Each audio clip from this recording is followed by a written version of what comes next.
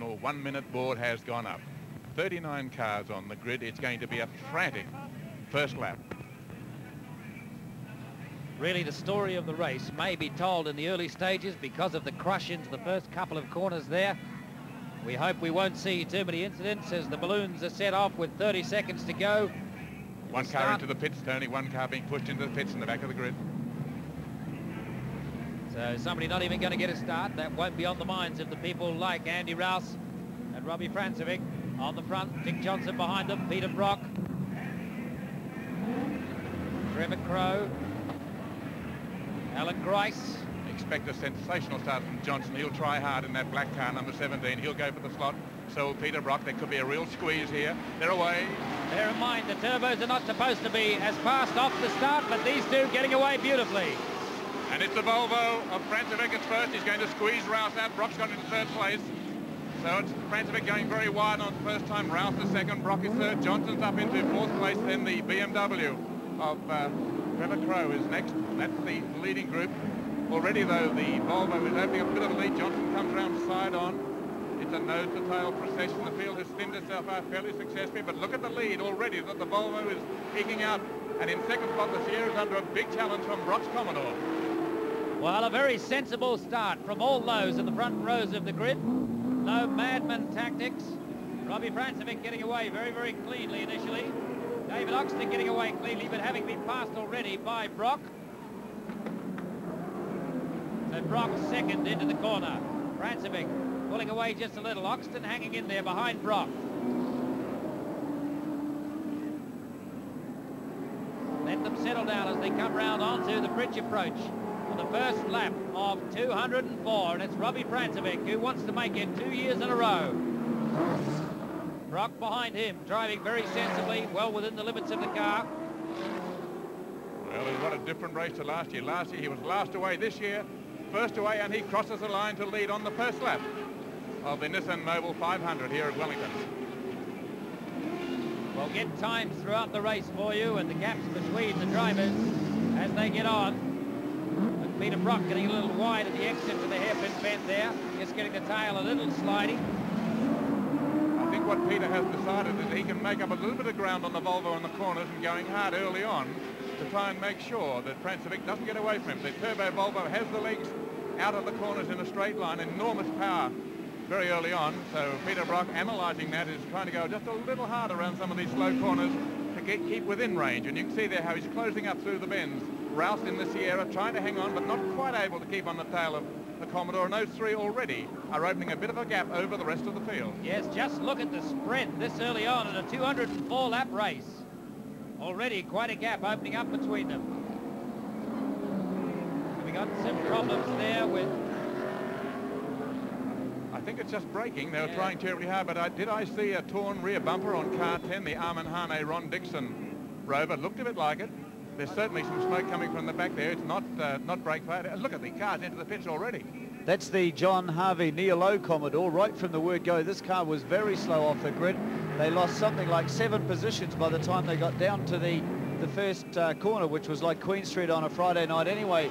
But um, there's Brock really starting to close in on Robbie Francevic now.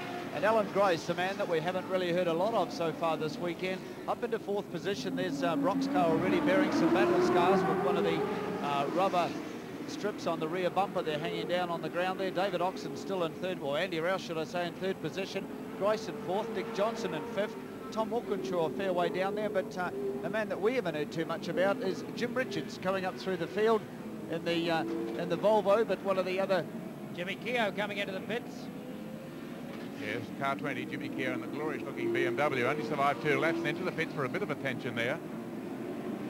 But the, in fact, the pit lane already is fairly crowded. We can see, what, three, four cars along the road there. But as we were thinking this morning when we saw those first laps in warm-up with cars with full tanks for the first time, the two quickest were these two cars. Car 1, the Volvo 240T, the turbocharged four-cylinder Volvo, and Peter Brock in car 5, the V8 Commodore. And that's the way it's proving in the race. They are pulling away from the rest of the field with full tanks for the, for the race.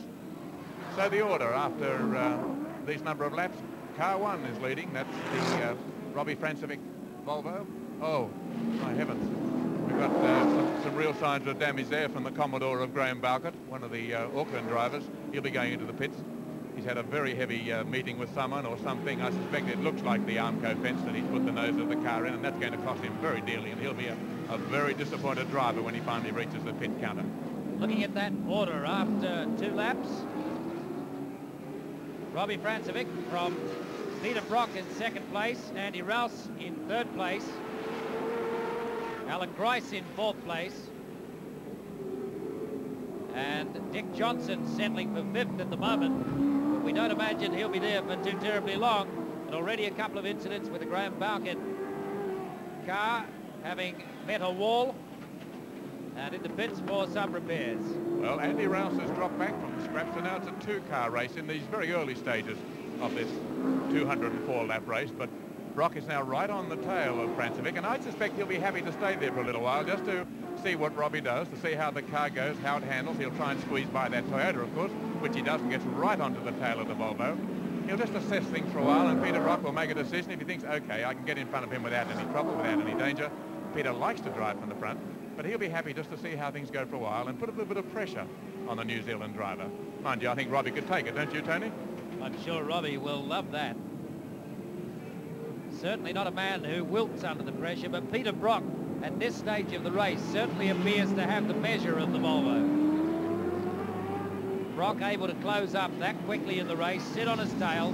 He's getting through the traffic just as quickly. Notice when Robbie Francevic gets past somebody, Peter Brock is sticking to his tail like glue. One car between them there. But Peter, Brock... he'll be unhappy with that, won't he? The chap, obviously, and he let the man know. He said, please, watch the marshal. I suspect they weren't the words he was thinking of, but that was the message. What's happening, of course, is that these drivers in, in the smaller cars aren't expecting to be lapped in only four laps. And so they get a one enormous shock when they see the first car loom up. And then by the time they've gathered their thoughts, there's Brock in their mirrors as well. So we're going to see a few problems. But Peter will be really upset with that driver because he could reasonably have expected to stay right on Francevic's tail and to have got a tow through the traffic. Instead, he had the traffic close on him, and now he's got to do it all over again. And if there is any advantage with the Volvo, it is getting out of corners where they slowed down the first corner very quickly being able to get the acceleration, get the car moving quickly. Peter Brock having to work very hard to get back in touch with Robbie Francevic. He's not close enough to be in the tow at this stage, but he won't be long before he's back there again. I think Peter Brock has the measure of this Volvo. Perhaps not enough to get past initially, but certainly he'll want to sit there on that tail for a little while. We were wondering what sort of lap times they might be doing. Well, our lap scorers tell us that they're going in under 1 minute 20. The times they're recording are about 119.6 in that area. So they are lapping very, very quickly. It's going to be a fierce pace. And I wonder how many of these cars and drivers can survive that sort of speed for so long. This is a long race. I think we can probably only expect that kind of pace for the first 20 laps or so, but that is a phenomenal pace to start with. There's David Oxton coming through. And Dick Johnson closing up on Alan Grice.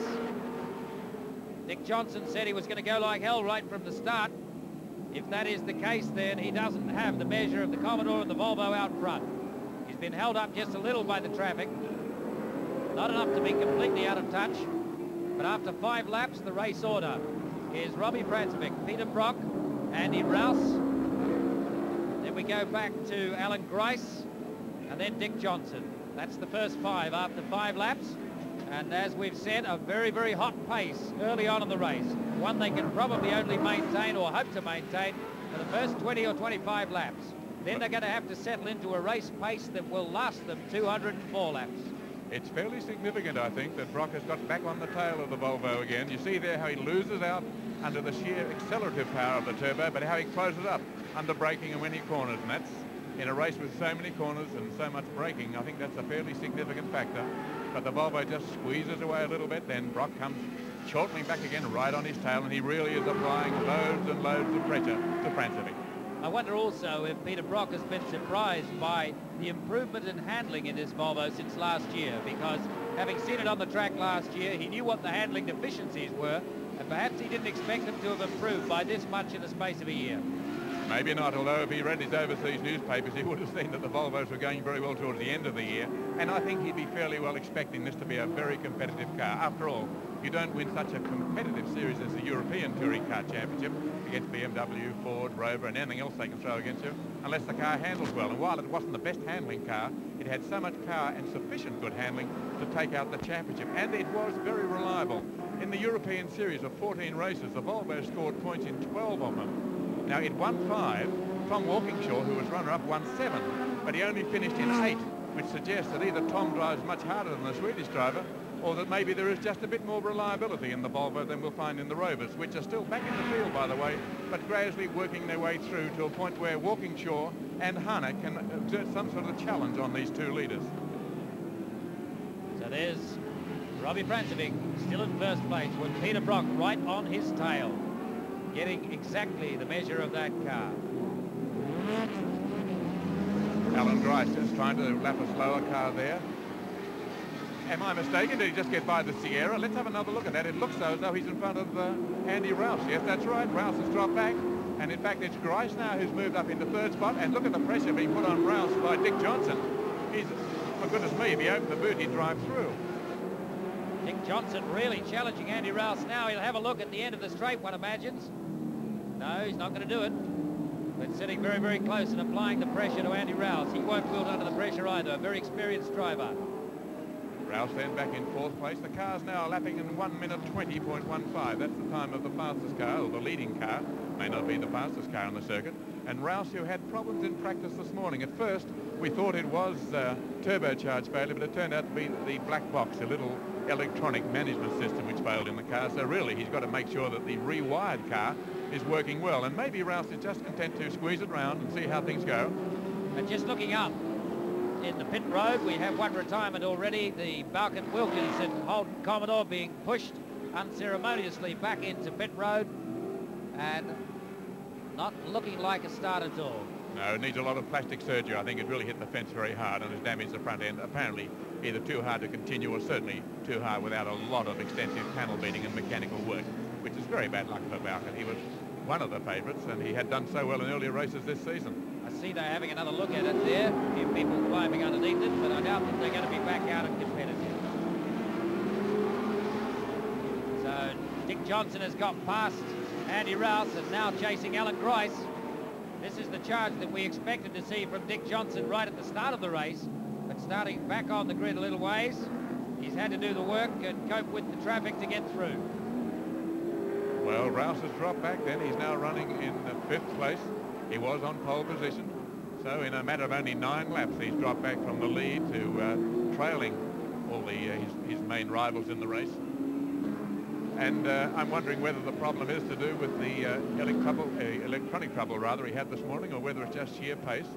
But certainly, whatever it is, he can't keep up with the pace of the Volvo in front, Brock's Commodore, and then uh, also Grice's Commodore, which is way up there now, and in a position where he may start to close between the two leaders, because he won't like the sort of gap that's been opened up, and then Johnson's Mustang. So the order at this stage, Francevic, Brock, Grice, Rouse, Johnson, Holm, Hahne, Crowe, O'Brien, McKinnon, Walkinshaw and Richards. So Tom Walkinshaw way back in 11th place at this stage.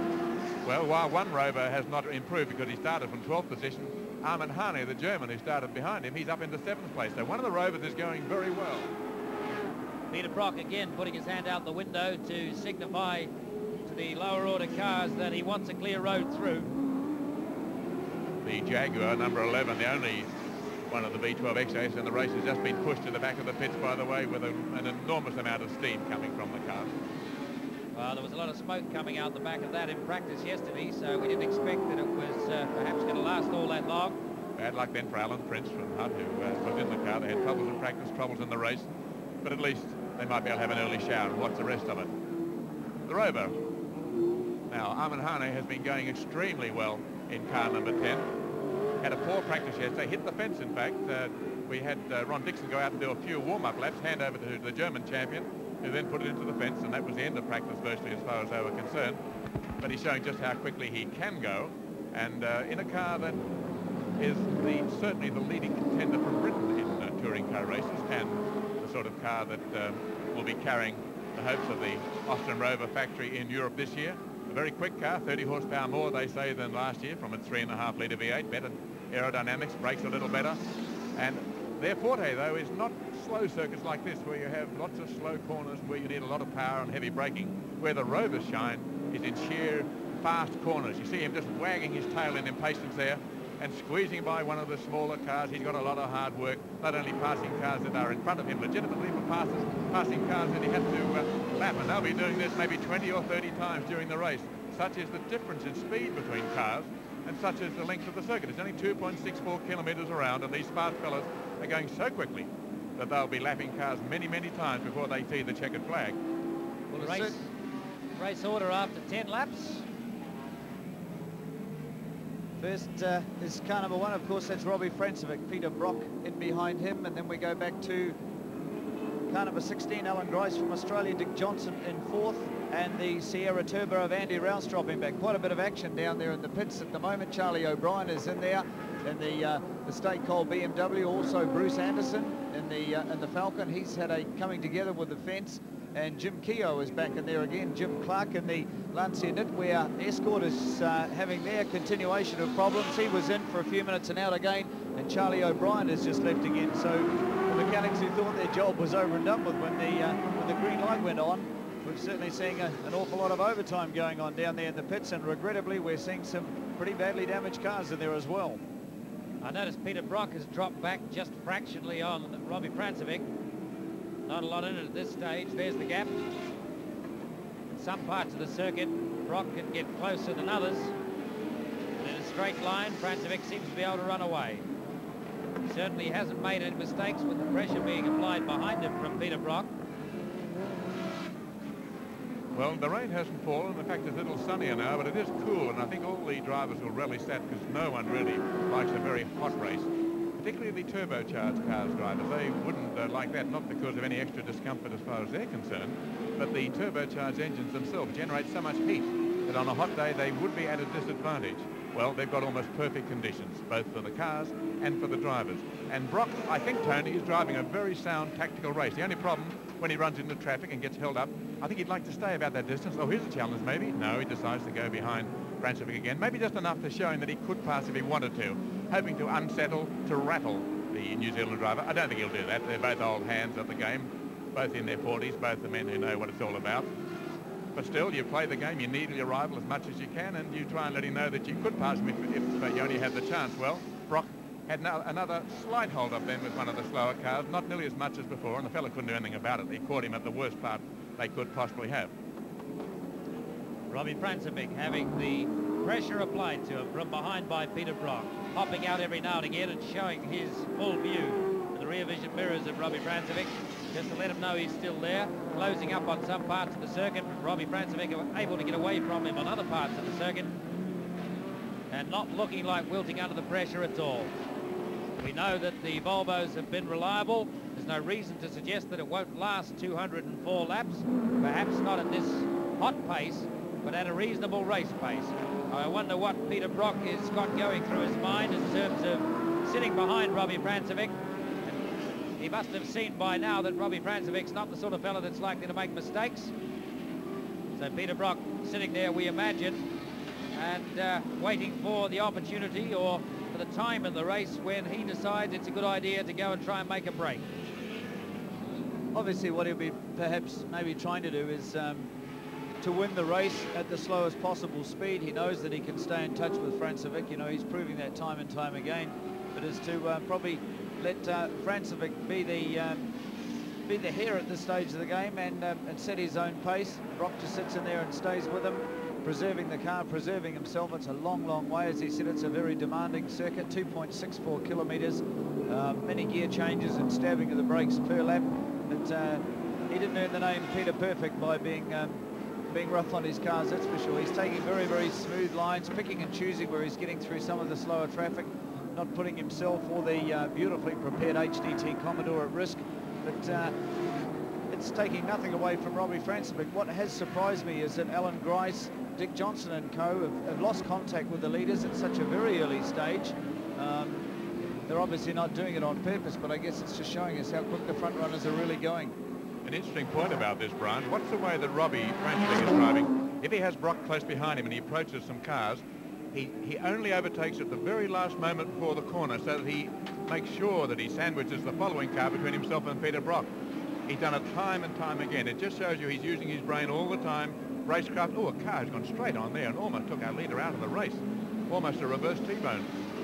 Yes, I think uh, while some of the tail enders can be a bit of a problem to the fast drivers, they uh, they play it to their advantage to um, try and be uh, make things a little more inconvenient for the driver behind. But just see, there's Brock now. He's probably about um, 50 or 75 metres behind Francevic, but you know, before too long he'll be right up on the back of him.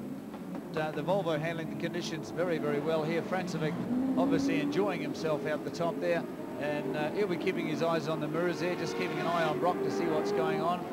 Still in third position, Alan Grice from Australia, and the second of the Sleepyhead Commodores. Of course, we saw the demise of the uh, the other Sleepyhead car, that driven by Aucklander Graham Bowkett, who of course, is the new New Zealand Touring Car Champion after an impeccable run during the International Series, only to have um, Nissan Mobil 500 uh, just take him out so early in the piece. And of course, him and Wayne Wilkinson were taken out of the Benson and Hedges endurance round at Pukekohe with a fuel tank problem when they were lying way up with the leaders. And there's Dick Johnson in fourth position behind Alan Grice.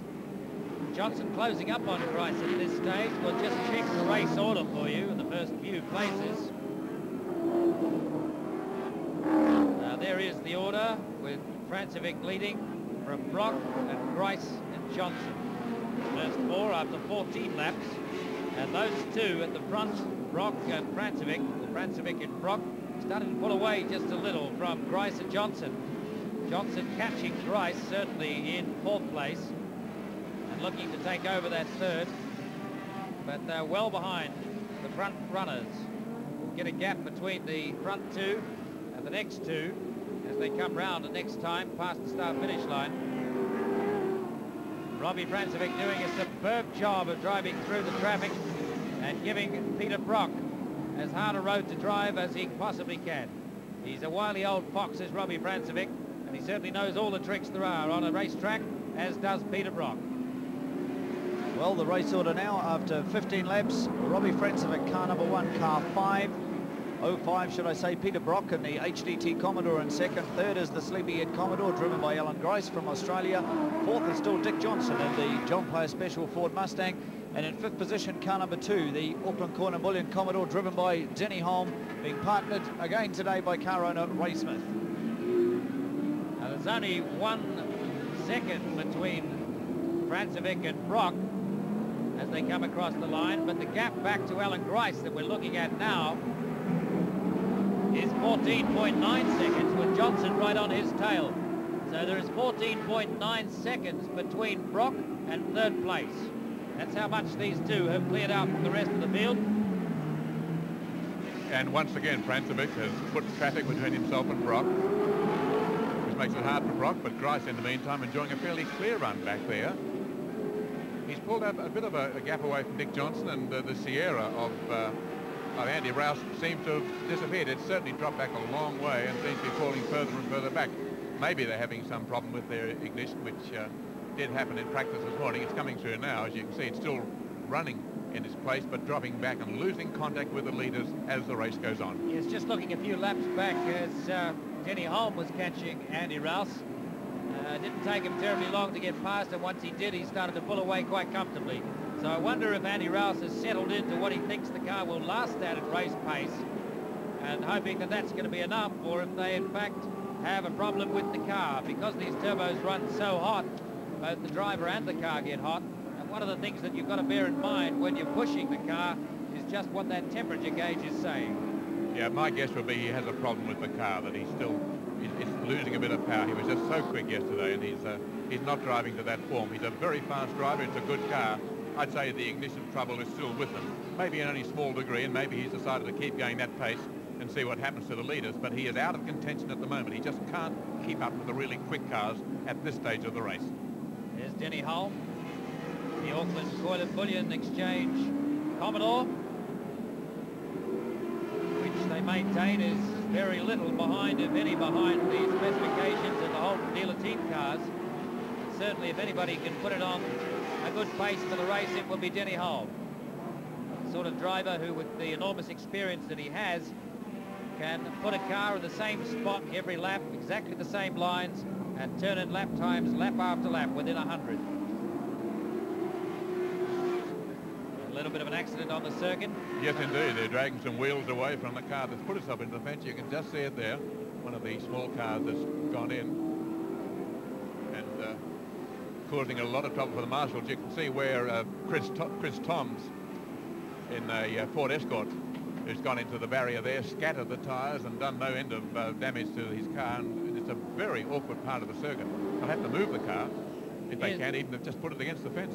Denny Hulme there, just right up behind Paul Adams in the little Corolla Sprinter. Bear in mind that Paul Adams in last year's race finished fifth overall.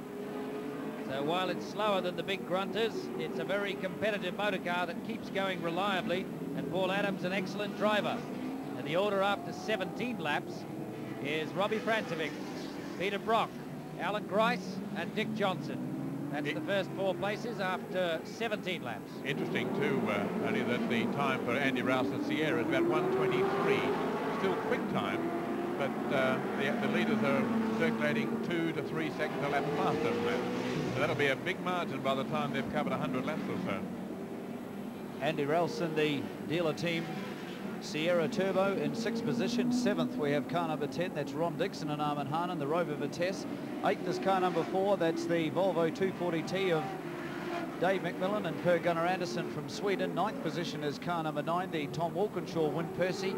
The second of the Rover Vitesses. Tenth is car number 31. That's the Trevor Crowe Tony Longhurst BMW.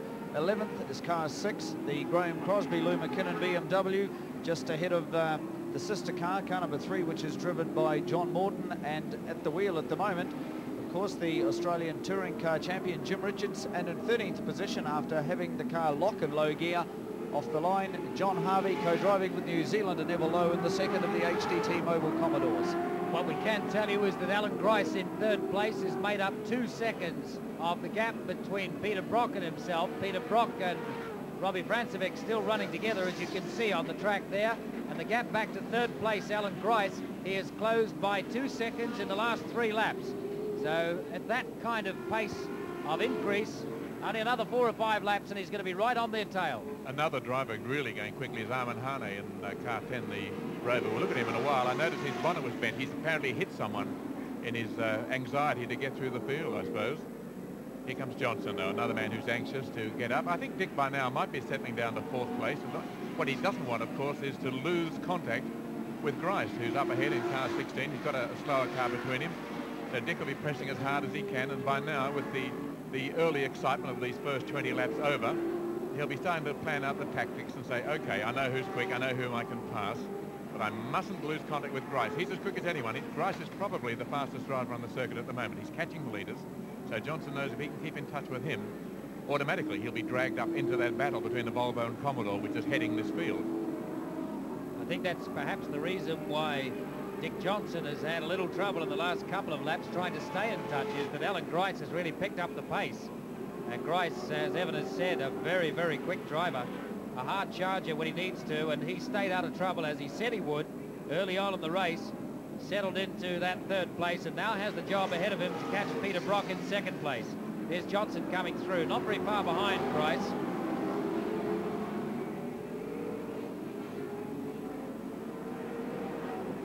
This is Johnson in the black Mustang. Alongside a very similar Mustang, but Bruce Anderson in it.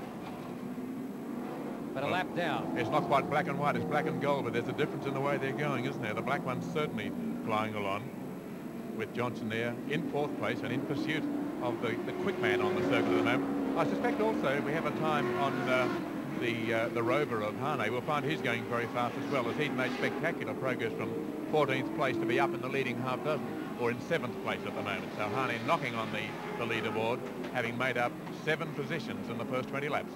Peter Brock is right on Robbie Francevic's tail now. They've just gone past the start-finish line the gap has been closed right up. Have a look at Brock there, right on the tail of Robbie Francevic. As he gets into traffic, he gets held up just a little. And we'll check again Once as again. they come round the next time. Once again, Brock held up. He's waving his arm at the other driver, but I think it's Francevic. He is timing those passes so minutely that he gets in front of the car just before the corner.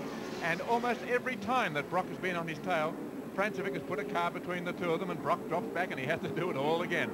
And in case you're sitting there in great sympathy with Peter Brock waving his arm out the window, we should perhaps uh, restate the fact that the onus is always with the overtaking driver. And we have to remember also that this is a very narrow circuit in places, and in some cases there's just nowhere for the driver to go. I think with Peter it's as much frustration as anything. He's had it happen so many times. He uh, he's getting a little bit uh, a little bit hot about it. Here he goes again into another corner, into the bridge, and Francevic just got by that car. Now Brock will have to follow him all the way through, and look at the lead that uh, the Volvo will have by the time they get onto the straight. How's that? He gained himself a good 80 metres by that manoeuvre, and now Brock has to do it again, and he doesn't like it. And part of the the blame, perhaps, rather than the blame that Peter Brock is putting on the slower drivers who don't have a lot of place to go, he should perhaps be looking at Robbie Francevic, who's causing the situation deliberately so that uh, Peter Brock has to drop back a little. The well, gap between Brock and Alan Grice in third place stayed the same on the last two laps, still 13 odd seconds. Well, Grice is trying very hard. I was watching him hanging the tail around the corners, but as you can see, Brock is closing, but Grice is trying desperately hard behind him, sliding much more than Brock's car in the red Commodore. Here he comes. He won't do any sliding around here, but coming in out off the bridge, he was almost at 90 degrees to the direction of travel. And no one, no one slides all four wheels better than Alan Grice. He really does grab the car by the scruff of the neck and throw it around the circuit. the first man ever to lap the infamous Mount Panorama circuit at Bathurst at more than 100 miles an hour. That's Alan Grice, so he's a, a very quick sprinter. He can really pump up the adrenaline for one super fast lap, but he also has the ability to keep on going just as fast for quite a few.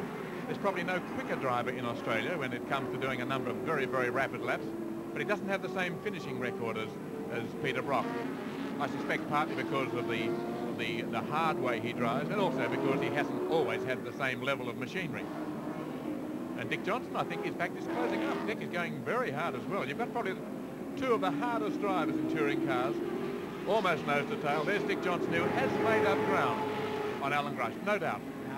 Alan Grice on that last lap was slowed just a little by some of the traffic in front of him, and the gap has dropped to 15.3 seconds from 13. So a lot of his hard work went awry in that last lap. Here comes Grice, and here comes his black shadow, Dick Johnson. One car to pass, it'll be difficult for Dick Johnson to be right on his tail, but luckily he's far enough back to come through without hold-up, and he'll pass it on the straight. So still in pursuit of Alan Grice. A great tussle between these long-term rivals. One of the Rovers, by the way, just going past us now. Hahne slowed right down as he came off the bridge. Almost, in fact, looked as though he was about to go into the pits, but went on. He looked like he had a bump, certainly at the front. We noticed that before. So Hahne in trouble in car 10, has worked his way up. There he is. He's worked his way up from 14th on the grid to 7th on the road. He has a damaged rear end and the front is also bearing the marks of a bump that he got earlier in the race. So he's forcing his way through the field and has got just a, a, bump in the tail recently. There's the front of the car, the bonnet up a little bit on the right-hand side. You can't see it very clearly here, but it certainly is squeezed up, but the back is damaged. Have a look. Not the way it came out of the factory, not too severe, but he has been nudged by someone behind him. And there are a few contenders following who might well have done that sort of damage. Peter Brock still sitting on the tail of Robbie Francevic and the gap back to third still 15 seconds for Alan Grice. Well, and you can see the boomerang rear end of Armin Hahne's Rover Vitesse. He's still going quickly. He had a momentary slowdown when he got hit coming off the bridge and just uh, took some time to settle things back again, almost stopped and then got it going again, so he lost quite a lot of time. He's in fact moved up now to sixth place, Hahne, so it's an amazing climb through the field. He has passed eight cars. He's still Francevic in the Volvo, of course, in front from, uh, from Brock in the Commodore. Alan Grice is next in the Commodore from Johnson in the Mustang. Then it's uh, the old wise man of the race, Denny Hulme, up in the fifth place in Commodore number two. And Hahne in the Rover way up to sixth place And what could be in some ways the driver of the race. Certainly a very forceful drive. But the wise drive, the fast drive, has been won by Francevic. Up there in front. So let's have a look at the positions after 22 laps. After lap 24, in fact, Francevic from Brock, from Grice, from Johnson. No change in that order. Just looking down there on the circuit at the moment from uh, from our commentary position is that the Andy Rouse Ford Sierra Turbo is going to be lapped fairly shortly by the race leader, Robbie Francevic. Peter Brock tucked in behind him. Certainly a very high attrition rate down on the pitch. There's three or four cars been in there. Jim Keogh's just been in and out again. Jim Clark's down there in the RS 1600 Escort. This is his second visit to the pits and uh, we've had a couple of the little Toyotas in there. So uh, it very much is a race of attrition. We started with some 38 or 39 competitors. Uh, we've seen the Graeme Bowkett Commodore go, the Jaguar's gone. Uh, John Harvey was in a problem there with the car locked in low gear on the opening lap. Certainly not a nice sort of a position to be in with uh, an enormous field behind you uh, with the, the thing locked in low gear. It's certainly a rather unnerving experience. And of course, he lost a lot of time getting around the circuit back to the pits again. The problem was fixed very quickly, but there's the Sierra into the fence. Andy Rouse has belted the, uh, in fact, it's lost a wheel. The left front wheel has gone on the Sierra Turbo. This is the car that's at pole position in the hands of the British Saloon Car Champion. It's almost a disaster for him too, Brian, because it happened just a few few metres past the entrance to the pits. Had it happened a bit earlier, he'd have gone straight into the pits. Now he's boiling. He's out of the race. Up goes the flag to obscure the view. But look, you can see that's the end of the race for, for Rouse. And what drama. Had it happened a little earlier, he could have gone straight into the pits and sought some sort of relief. He attempted to, oh, you can see the wheels off. He attempted to drive around. Uh, no way in the world he can do it. And the car has come to a grinding halt on the main straight up against some of the herbage there. And in fact, the greatest threat he's posing at the moment is set fire to Wellington. What a great shame it is for the uh, for the Ford dealer team. This is the car which Andy Rouse won last year's British Saloon Car Championship in. He's sharing it with David Oxton, or was sharing it with David Oxton, who uh, at the moment is in the pits all dressed up and nowhere to go. Let's just have a look at the incident again.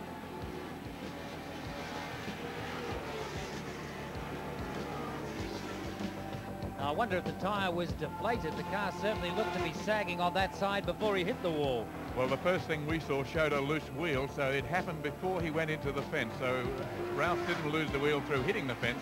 The wheel was loose, was broken off. You can see it there. It's not just a puncture, although it's uh, it's still out there in the middle of the track, and none of the marshals are going to do anything about it for a while. But there's the wheel. Rouse's wheel has rolled to the middle of the track.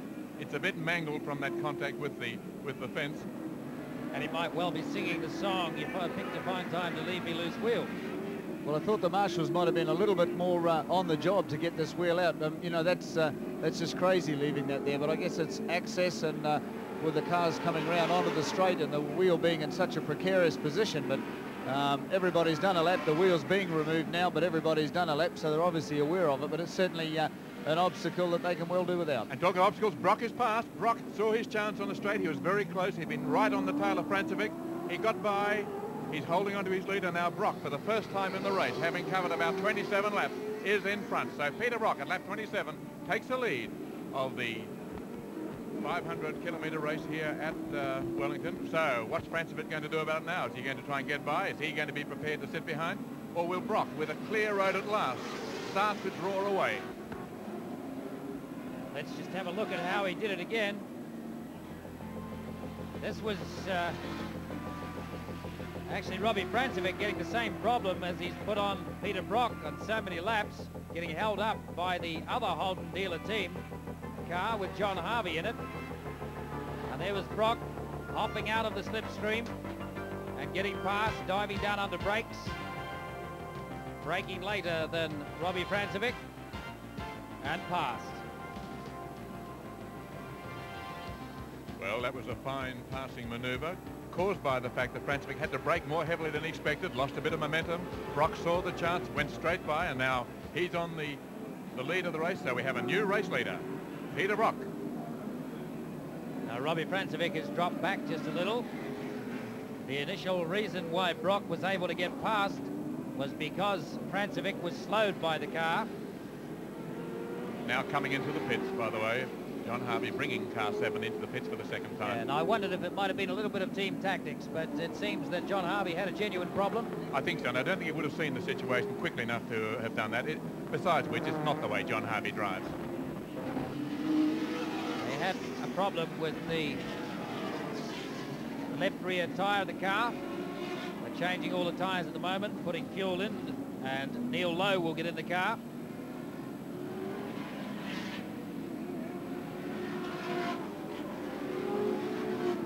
Just wonder how far ahead now Peter Brock can get of Robbie Francevic. I wondered when he was sitting behind Francevic for so long if he might have been thinking that a pit stop quicker than Francevic's would have put him in front.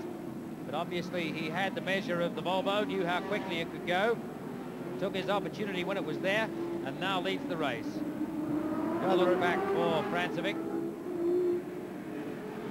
Rather unusual that uh, John Harvey should start the race and then with just some 27, 28 laps gone, hand over to uh, to Neal Lowe. The uh, pit stop has just been completed. It might be, Brian, that they're not reckoning they're going to go much further. Because the second time in the pits, you might say to me, well, you know, and here's Dick Johnson in the pits with a, a tyre change as well. So we're getting much earlier stops among some of the leaders than we might have expected. They're changing all the rubber. Having trouble with the front wheel. It's, it's not the tyres that he came in because the bonnet is up. They're changing the tyres while he's there, calling his brother, who's a mechanic for him, over to let him know what the problem is.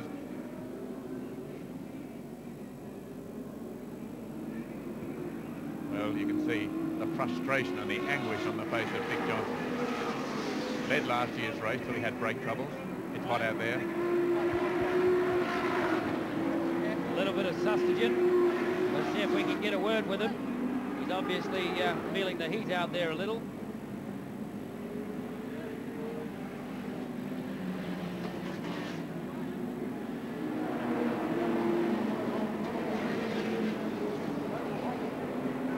might not be an appropriate time to get a word with Dick Johnson. Doesn't look terribly happy at the moment. He's obviously going to stay in the car. He hopes to get back in the race. He doesn't think it's a major problem.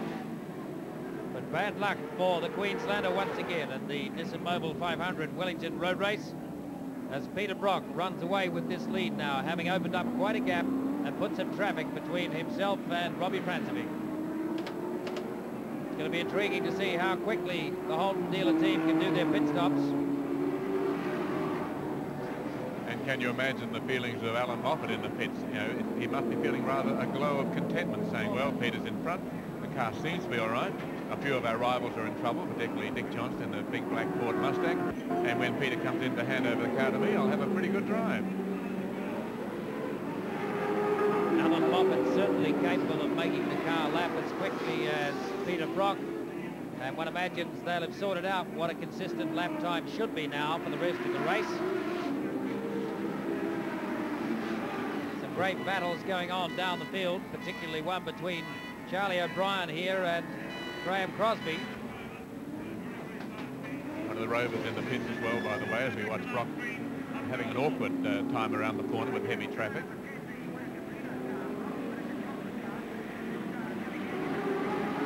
Brock still threading his way through traffic, and I would think that passing some of these slow cars on this narrow track would be the highlight of the race that these drivers are going to remember afterwards. The fact that it was a constant problem for them, getting by fellows engaged in their own desperate drives. These two BMWs in front, for instance.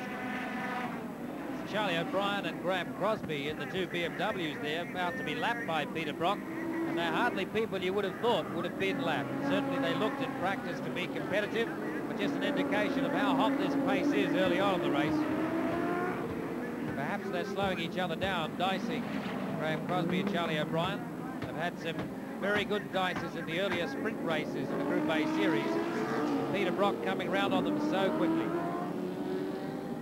It's about the first of the rapid cars that Brock had to pass too in terms of lapping. Two, uh, two quick drivers, Charlie O'Brien and uh, Graeme Crosby, and two big cars. And look at the bunch of traffic in front. It's like Friday afternoon outside the shops. Uh, Peter Brock trying to get Graeme Crosby out of his way. Graeme Crosby getting Charlie O'Brien out of his way and Charlie O'Brien getting in his way. So there we are. There's lots and lots of traffic. It indicates, I think, Tony, just how much the BMWs have sort of dropped back a little bit without the development some of the other cars have had in the last year or so. But they're not that much slower that Peter Brock can come up on them and pass them at will. Obviously, the BMWs are competitive cars in the sense that they can get going in a straight line quickly enough to make it a difficult job for Brock to get past as he gets past O'Brien now. There's Dick Johnson waiting to come out. The marshal, of course, slowing him until it was safe to go. Dick spent about four laps in the pit, so he's lost a lot of ground.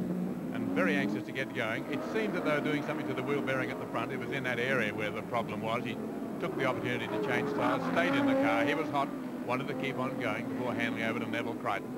And there's uh, a lot of traffic there. That's uh, the second of the the two cars with Lowe on board now, having replaced Harvey in the second of the Marlboro Holden dealer team cars behind the Rover, which is trying desperately to, to get by on the bridge. There really are some frustrating parts of this circuit where if the drivers get behind slow cars, they just can do nothing about it except hang on. And there are two quick cars there devouring some of the smaller cars.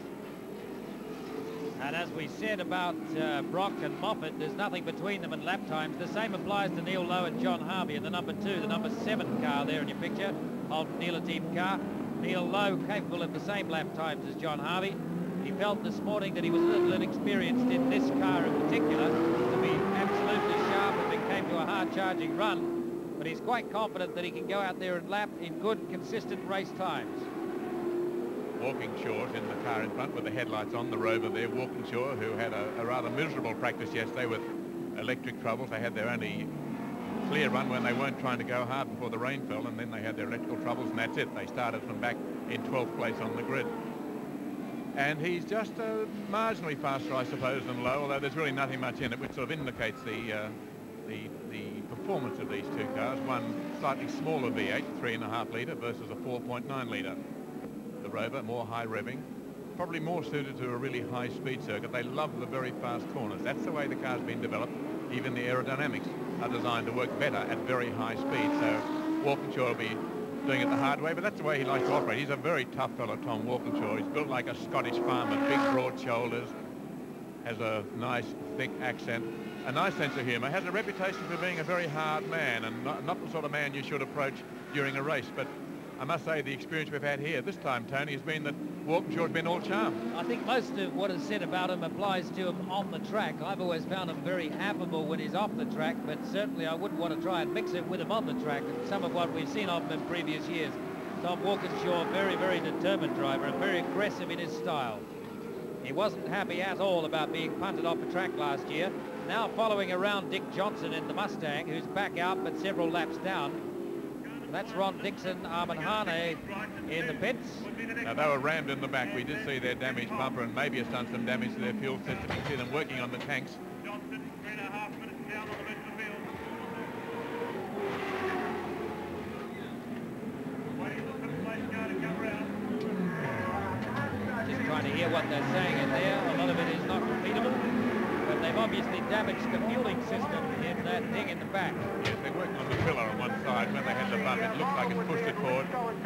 Probably either developed a leak or else it's squeezed up the, the.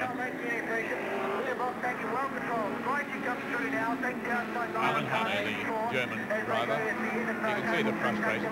Not saying much. His earplugs in because it's noisy driving these cars. Not a tear of frustration, just perspiration, but taking the chance to dry up a little bit. It's hard work out there, and a German particularly, or someone from the Northern Hemisphere, would find things very hot here today, having come straight from a European winter. Okay, let's have a look at this stage of the race, at the race order. Coming up in just a moment. Peter Brock in the lead, of course. And here is the race order. After 34 laps, Brack, Brock from Francevic, from Grice, from Denny Hulme. Denny Hulme closing a little on Grice, and Grice still closing on Robbie Francevic in second place. We'll get another measure of that gap for you. It was about 14 seconds a lap ago. I'll check it again the next time round.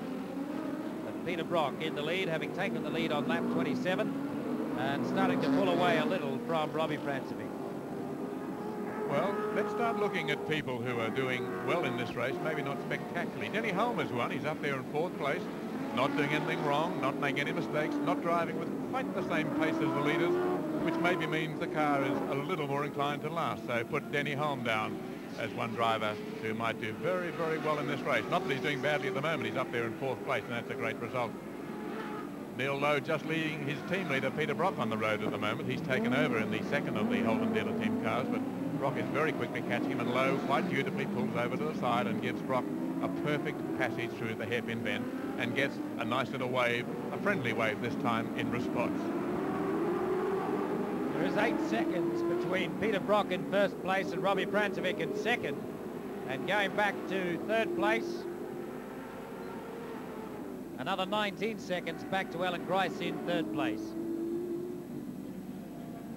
So 27 seconds between first and third, eight seconds between first and second.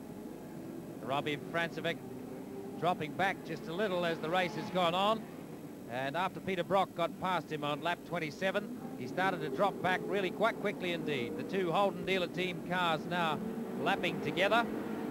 But Neal Lowe a good lap down on Peter Brock.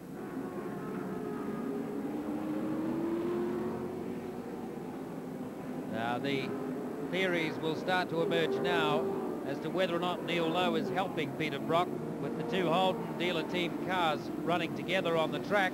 And one imagines it's harder to get past two of them than one of them if Neal Lowe can stay on a similar sort of pace. There doesn't appear to be a great deal between them in terms of performance at this stage because Peter Brock has settled into what he thinks will be a race pace after that very early, very hot pace. So Neal Lowe just following around behind Peter Brock but well down in the race order. And there is the gap back to second place, Robbie Francevic, eight and a quarter seconds behind Peter Brock, and a further 19 seconds back to Alan Grice in third place. He was within 12 seconds at best, but has dropped back now quite considerably. So either Alan Grice has decided that the car won't last at the pace he was driving it at, or has been balked so much by slower traffic that it's cost him that distance. And I think uh, down in the pits, we might be able to get a word with the man who has had incredibly bad luck, Andy Rouse. He set pole position yesterday, and after 20-odd laps, he had something come unstuck with the car. Let's find out what it was that caused him to hit the wall. Well, Andy Rouse all the way from the UK, a few rather scintillating laps than that. Now, what caused the car to hit the wall? Unfortunately, the front suspension broke, and the uh, the wheel broke and went underneath the car. It, according to it, it happened just coming off the bridge there, and I hit the wall on the on the left-hand side. According to an eyewitness report, the wheel broke went underneath the car. I just got the wheel back, and it's a it's a breakage of the suspension strut. So we learned something today. Just metal fatigue or something like that, or do you think it's something you clipped around the track? No, without without looking at it and studying it in depth, it's difficult to tell. I, I hadn't bumped anything up to that point, not in practice or in, in the race, so I don't know. You look like you're going to try to make it back to the pits, even if it was going to be a fairly uh, lengthy no drive. brakes. I'd only got rear brakes when I was coming down there, so I was going to try and get in the pits, but I got no steering, no brakes, so I thought, well, I'll put it in a safe place and cross over. We saw you cross over the track there. That must have been a bit hazardous in itself. Well, I took a while just to gather my thoughts before I got out of the car. Andy Rouse, a disappointed man, having set pole position and having to go out that early in the race. A broken suspension arm has cost them any chance of winning the Nissan Mobil 500. Bad luck for him and the co-driver David Oxton, who didn't even get to drive in the race at all. Hopefully we'll be able to coax David Oxton up to the commentary box a little later on to explain a few uh, technicalities to us. But he'll be disappointed, having not even sat in the car during the race. Here's the race leader, Peter Brock, still continuing at very, very consistent lap times. managing to hold on to that lead of the race, which he seemed to have the measure of the Volvo Turbo fairly early on and sat behind it for a while. He's there busily signalling the slower drivers where he wants them to be on the circuit when he passes them.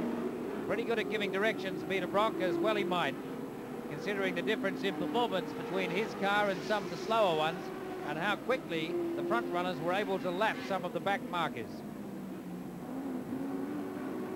sure Allan Moffat will be sitting in the pits thinking, what a nice place to get in the car.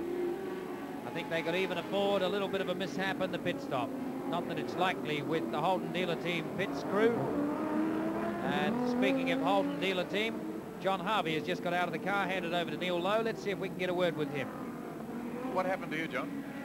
Well, first of all, uh, right at the start, the car jammed in first gear, so I had to do a complete lap in first gear to get back here to get it disengaged, so I'd lost probably two laps or something like that.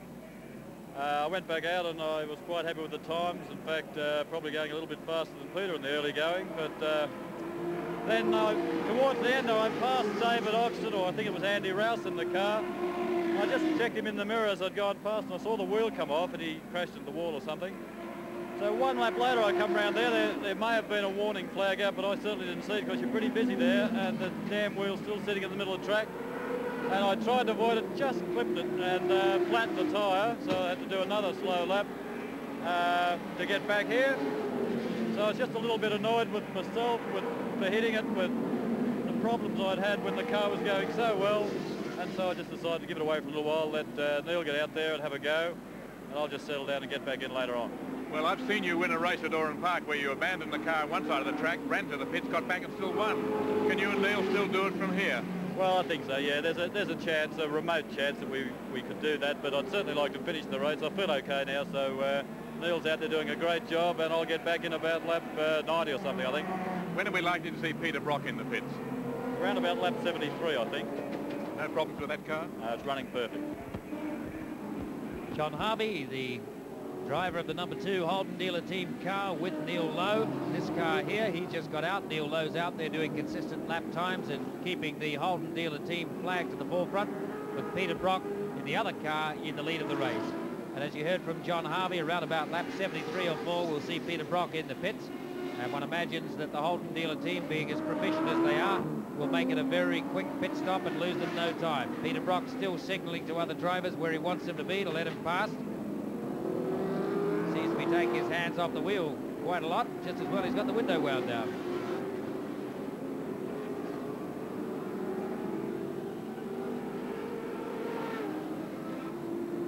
And it seemed, Brian Lawrence, that Peter Brock, once he got past Robbie Francevic, had obviously been sitting there sizing him up and was able to run away quite quickly. Yeah, he obviously had the measure of Robbie there in the opening stages. I think he was just establishing the fact that he could run round at that particular pace and stay in touch uh, with the, the Volvo. And then once he got his, his race pattern sorted out, once, I mean, that would have been sorted out before they really got the, um, the race underway, but the actual circuit pattern as to what was going to be going on, um, perhaps familiarising himself with, um, you know, the slow cars, who to watch out for and exactly what was going on. And then um, in the typical Brock professional manner, he just got on with the job. And I think that when he when he passed him, he had him all lined up. He knew exactly where he was going, and um, and he did it with ease.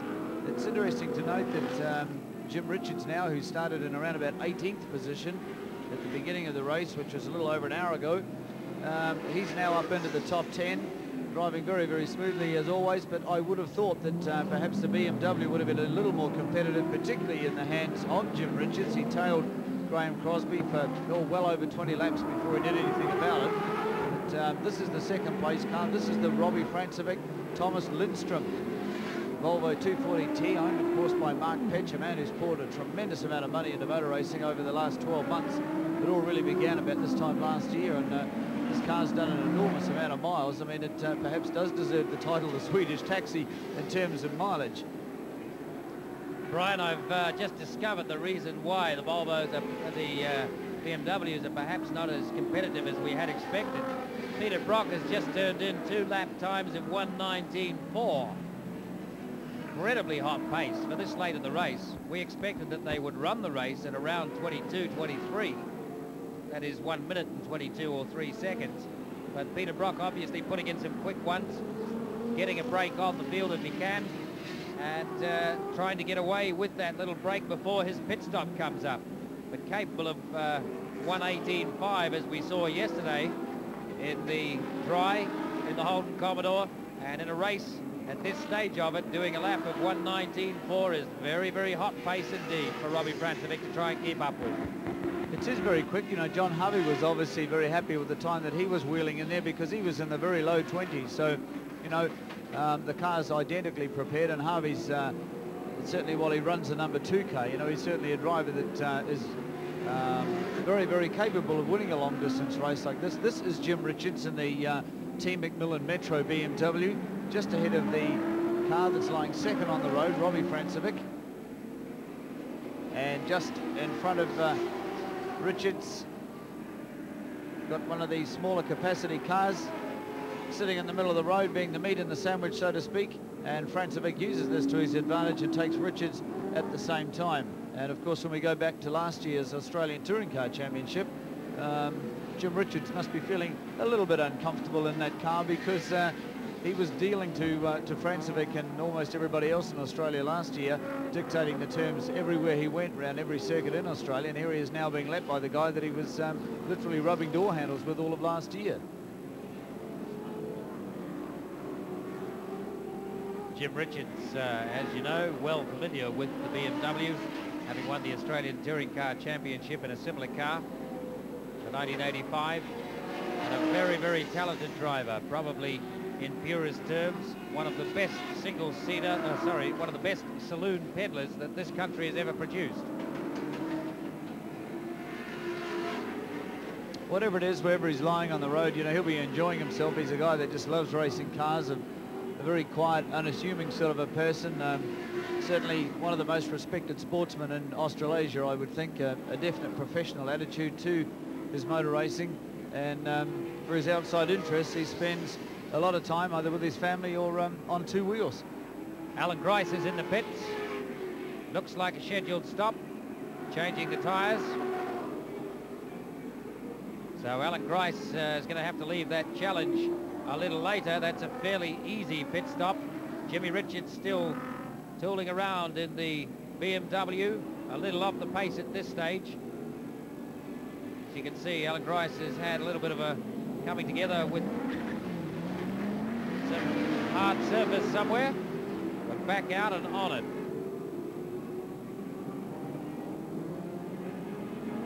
And while we were looking just a little while ago at Jimmy Richards in the BMW, another man who's been in the pits rather more than he would have liked is Jimmy Keogh in a BMW 635 CSI. Let's get a word with him and see what the problems have been.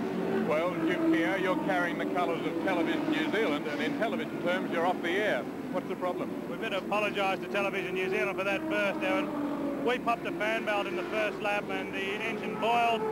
It looks like it's cooked the head gasket because it continues to go off the clock when we refill it with water. So, uh, unfortunately for today, that's the end of our race, but at least we're going to end up with a fresh race car for next weekend. It's amazing how tiny things can cause these problems. How do you put up with the frustrations of motor racing? Well, if you ask me tomorrow, I might be a little more resilient, but right now I'm not putting up with it very well. well, you know that what they say about motor racing, the way to make a small fortune from motor racing is to start with a big one. Jim Keogh. Thanks, Evan. Jimmy Keogh running the Television New Zealand colours on his car, and as Evan Green said, in television terms, he's off the air at this stage, having had to retire. Rather unfortunate for him. And the news at the moment is that with Alan Grice having made his pit stop, Denny Hulme is in third place, and he's only 11 seconds behind second place, Robbie Francevic, and closing. He's made up two seconds in the last four laps. We'll catch that gap again the next time they come around. That's the gap between second and third place with Peter Brock well out in front. So the order at this stage, Brock from Francevic, from Denny Hulme. and in fourth place, we've got an amazing performance from the Dave McMillan Per Gunnar Andersson Volvo Turbo. Has pulled himself up to fourth place.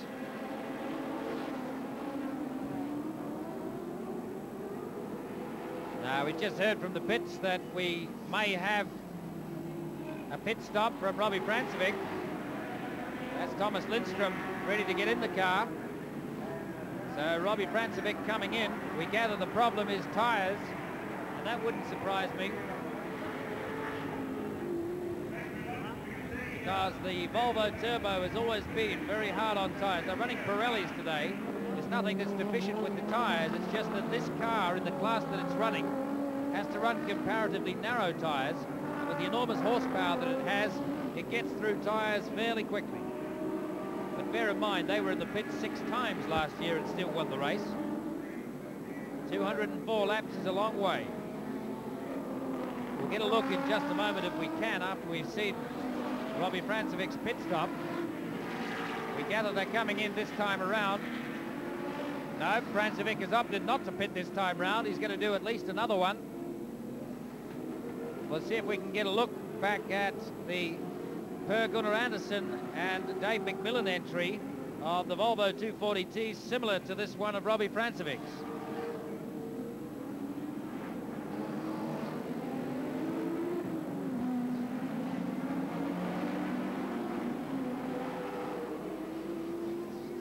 Try and check the gap again as Robbie Francevic comes round, losing time because of the tyres having gone off. Trying to go past Trevor Crowe.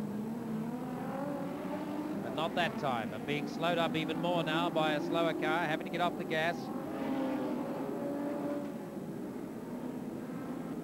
Past Trevor Crowe that time.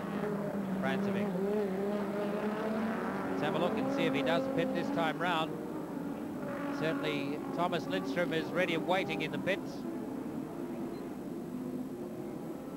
The gap between Peter Brock and Robbie Francevic.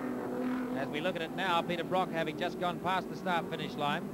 Here's Francevic. If he pits this time, we can't give you the gap because it's irrelevant. If he stays out, we'll be able to tell you how much he's losing. Francevic is staying out. And the gap between Peter Brock and Robbie Francevic is 21.5 seconds. So he's definitely losing time at around about a second a lap. And he must, he really must be at the stage now where he's got to wonder if staying out there is worthwhile. Making the pit stop might cost him time, but it'll give him new tyres. Let's go down to the pits and... Uh, in fact, we were trying to get a word with Mark Petch, the team manager for Robbie Francevic, Thomas Lindstrom entry. But uh, they're a little tense and they're getting ready for the stop the next time around, so he doesn't want to talk to us right now. Those of you who were waiting to see the softball on the television, Afraid you're out of luck today. The rain in Auckland has meant that the softball has been cancelled, called off for today. So we'll be staying with the motor racing. Denny Hulme continues his chase, Tony. He's only 9.6 seconds now behind Robbie Francevic, who's coming into your picture now. In behind him is uh, the Tony Longhurst Trevor Crowe Archibald BMW. This is the uh, ex-Neville Crichton car last year. This is Francevic. And Denny Hulme, by that time, has caught up two seconds in the last two laps. Francevic staying out there again.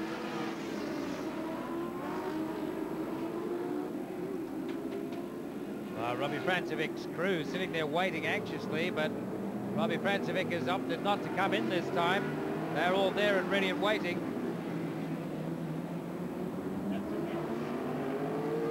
The gap between first and second at this stage, 21.7. And the gap between second and third, 10.5. And the gap between third and fourth, 53 seconds. So a big gap between the front runners as this race settles down to what will be race pace for them, bearing in mind it's 204 laps long.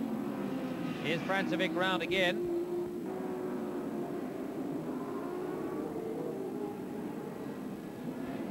I wonder how long Robbie Francevic is going to stay out there because the tyres are obviously costing him. But he knows that the pit stop has to be made at the right time. Let's look and see if Francevic goes past the pits again this time. He's onto the bridge. We'll be able to see from his exit off the bridge whether or not he's going to pit. He's coming in this time.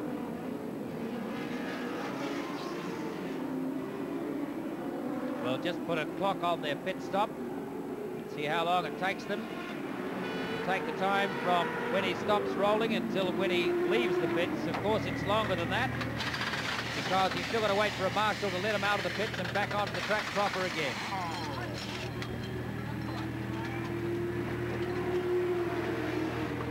Changing all four tyres, 12 seconds gone now.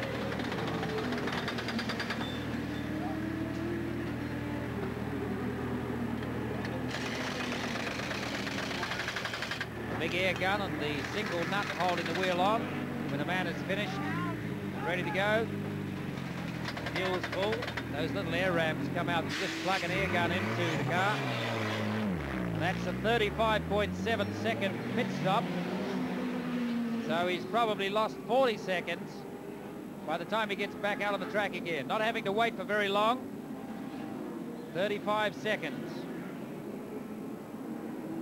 He's only dropped one place. He's still down there in um, in second position. Sorry, third position. Denny Hulme has gone through. Alan Grice is still holding on to his fourth, and he's coming up now in uh, interview. Another cars coming in and out of the pits here at this stage of the game. There's another one of the Rovers on their way in. Just leaving the pits now is the Jim Keogh BMW. They've obviously put some more water in to give it another go. And uh, in the pits now, the Tom Walkinshaw Rover. Up go the Air Jackson, a very experienced crew are right on the job, changing those wheels just so fast.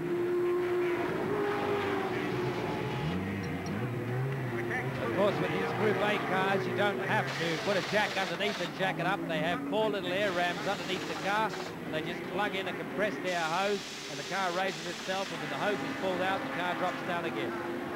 Win Percy now taking over the the wheel of the Whittaker's Rover Vitesse. These are the cars that took on the Volvos in last year's European Touring Car Championship, but had to concede defeat to the Swedish mark. A little bit of last-minute instructions from Tom Walkinshaw to Win Percy, and I wonder if there's a problem with the car. They obviously want something checked. It's a very long pit stop, wasn't it? Um, they had the wheels changed, and Percy was in the car very quickly. But uh, Walkinshaw looking at the gauges on the dash. Yes, they've been in for a good 50 seconds now.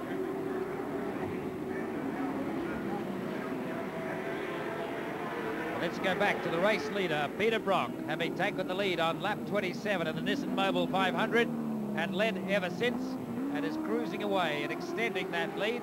And while Peter Brock wanders away, still with many laps to go before his first pit stop, let's have a look at the highlights of the first hour of the Nissan Mobil 500.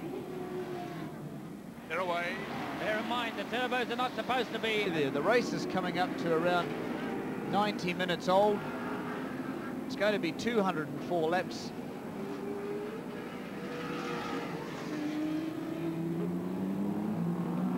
Rock wheels himself out of the hairpin. There's Francevic, full tank of gas, fresh set of tyres. Let's go down to the pit road and see if we can get a word with the man who's just got out of this car, Robbie Francevic. Robbie, we saw you come in a minute ago. We gather the problem was tyres going off on you. No, no, that was our scheduled stop. We were going to always run a short stop for the first one. And then Thomas will do a maximum run. And whatever's left, I'll run through to the frag. When Brock got past you back there, was uh, did you let him past or was there nothing you could really do about it? Yeah, it's always good leading because it's a bit easy. You can get traffic in between you, but I got badly balked and he um, got a better run onto the straight, so he passed me and I um, thought rather than chase him, it's better to look after the car. How's the car running, Robbie? Beautiful. And you still hopeful that uh, it might do and pull off the hat trick and do what it did last year? Well, if it goes like it is now, there's no reason why not. Robbie Francevic still quite confident that the car can do it and that the two drivers are capable of doing it. Back out with fresh rubber and a full tank of gas now, having had a chance to warm up the tyres. Let's see how quickly Thomas Lindstrom gets on the pace. Certainly he looked very fast throughout this circuit yesterday. And for those of you who were waiting to see the softball at Lion Red Ballpark in Auckland, the news is not good. The softball is going to be played. They have now decided that New Zealand playing Chinese Taipei will be played at Liston Park in Auckland. So the game is going is actually in progress at the moment. New Zealand down 2-0, I understand. But we cannot cover that match because, of course, our equipment was set up at the Lion Ballpark and it's a little difficult to move. So those waiting for the softball, we won't be covering it this afternoon. New Zealand is currently playing New Zealand, uh, Chinese Taipei and they are 2-0 down at Liston Park.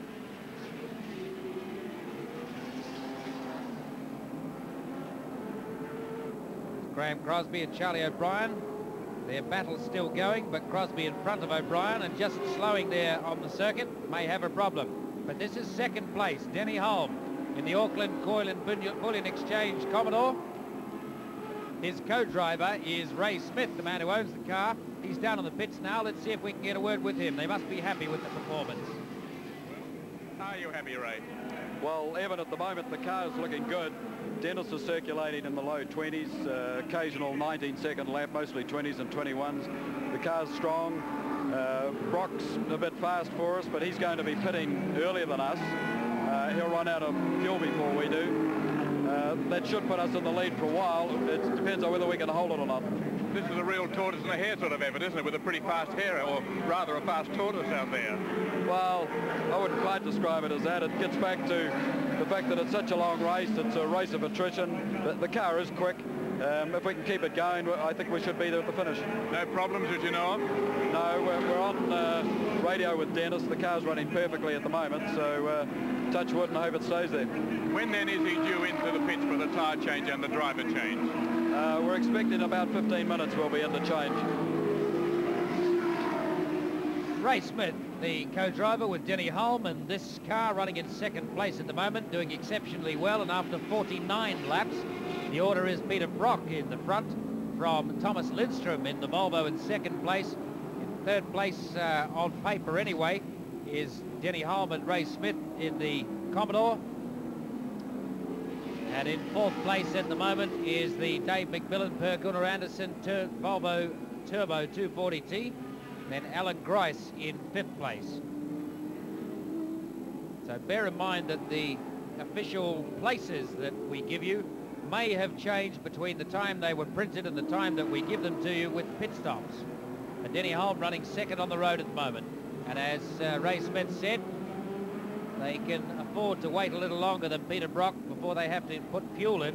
And they seem to have no problem at all with the tyres. So Denny Hulme out there and circulating in the low 20s. 120, 120.1.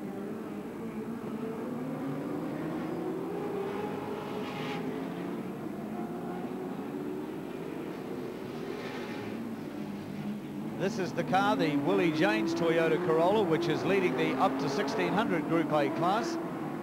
And uh, the challenge that we expected from the Adams Wolf Toyota is still there. And then it's the Bruce and Alan Drinkro Toyota Corolla in third position.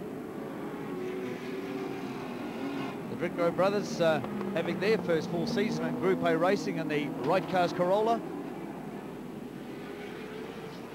Certainly the little Corolla Sprinters are a very competitive car in that 1600cc and under class. As we said before, Paul Adams managing to bring home one of them to fifth place, where the attrition rate last year was very high. An excellent performance from him, one he'll be looking to be repeating. Jimmy Keogh still out there in the BMW, but having lost enough laps to make him uncompetitive, and uh, just seeing how long the car's going to last for them. It's a beautifully prepared car, that one. Tony, he's uh, he's been racing, you know, for quite a number of years and very much a guy who really gets in there and enjoys his racing. Hasn't uh, been on the winner's dice for quite some time, but however, um, you know, there's got to be more than just one winner in the uh, in the field. He's driven all sorts of cars throughout his career, and at the moment he's got the number 17 John Player Special Ford Mustang there of uh, Dick Johnson and Neville Crichton filling up the mirrors of uh, both the Willie James Corolla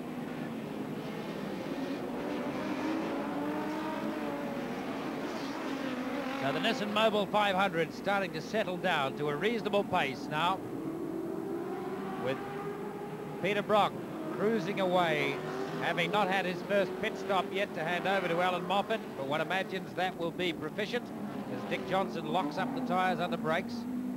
Obviously pushing the car a little hard now. We'll see if we can get a word with Dick Johnson on a radio telephone. Uh, it looks as though he might be a little busy to talk to us but we'll try it anyway Joining us in the commentary position in a few moments, co-driver of car number 18, the Ford dealer team Sierra Turbo, David Oxton will be joining us in just a few minutes for a bit of a chat and we'll uh, be finding out exactly what happened to the British Saloon Car Championship vehicle. A great shame to see this car. It was brilliant to see it go into pole position yesterday afternoon in the atrocious conditions here at Wellington, but however, somebody must have done the right thing during the night and uh, we've had some Beautiful sunshine here. As we mentioned, a few clouds up in the hills in the background. This is the Jim Richards, John Morton, Team McMillan BMW bearing some tyre scars down the, the driver's door. which Richards copped in the opening stages of the race, but uh, certainly no damage there. A good bit of rubbing compound will get rid of that. And that's still Richards in the car. Mechanics working quite feverishly all around it. The door open to let some fresh air in there. They're up in the engine department, checking the clutch and brake reservoirs. That's the Charlie O'Brien BMW that he's sharing with Glenn McIntyre, exiting the picture. And this is Francevic going past Brock to unlap himself. The one Volvo has just unlapped himself from the 05 Mobil Commodore.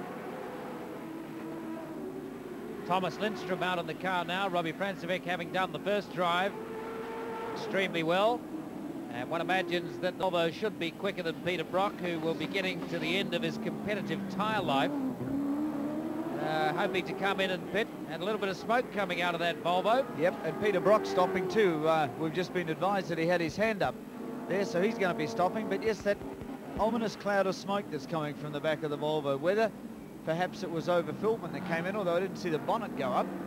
Perhaps could have missed it. Maybe, um, yes, it's still there. There's no doubt about it. It's uh, this is certainly not a healthy sign because it's uh, it's getting a little heavier. And we'll just have a look and see if the 05 Commodore comes into the pits. They're onto the bridge. This brings them back onto the start-finish straight once again. And there's a lot of smoke coming from the Volvo. He's moving right to, to one side. Peter Brock just sitting in there keeping an eye on everything. And welcome to the commentary position. David Oxton. David, it hasn't been a happy day for you. No, Brian. Unfortunately, we've uh, obviously had a very short race and uh, we've learnt the true merits of street racing. It's a bit hard on uh, a bit hard on machinery if you get near to the walls, but it appears as if we've had a, a suspension breakage. But let's not lose sight of this battle here that we've got with Peter Brock and Thomas Lindstrom. Any clues as to what the smoke is? You being in the turbo camp now? Well, no, I don't. Uh, last year we made a terrible mistake of picking what was oil smoke from uh, Tom Walkinshaw's Rover. Um, too early to say. Obviously, um, it's a lazy smoke that looks like rear end type smoke, and we do know that the Volvo has had crown wheel and pinion trouble overseas, not uh, deterring his speed. It doesn't look at this point like turbo smoke. It appears to be coming from more around the right front area, actually, Tony. Okay, let's hope that it's going to hold up for Thomas Lindstrom and Robbie Francevic for the rest of the race. But down on the pits is one of New Zealand's best-known exports in motor racing, Jim Richards.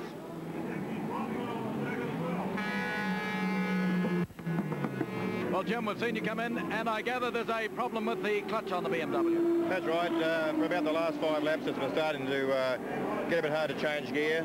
The clutch isn't disengaging. We, I put up with it for a little while, but then the clutch went uh, rock hard, and I couldn't even depress it to change gear. So we're only sort of getting in everyone's way out there, so I thought we'd better sort of uh, come in and see if we can fix it. You're an extremely good mechanic in your own right. Uh, what would you guess it to be?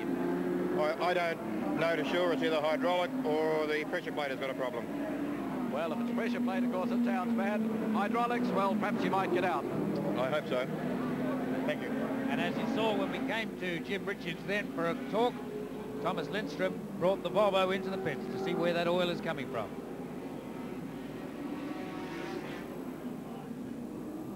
Many mechanics looking busily under the bonnet, checking the oil level.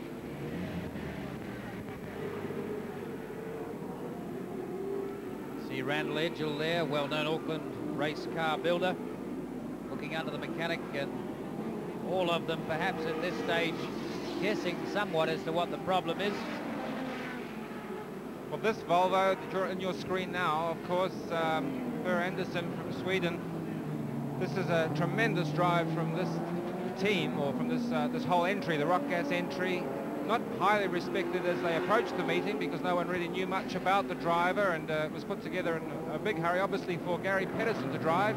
Unfortunately, Gary broke his arm at the last Benson Hedges race meeting was unable to drive, but he's down there now looking after the pit work.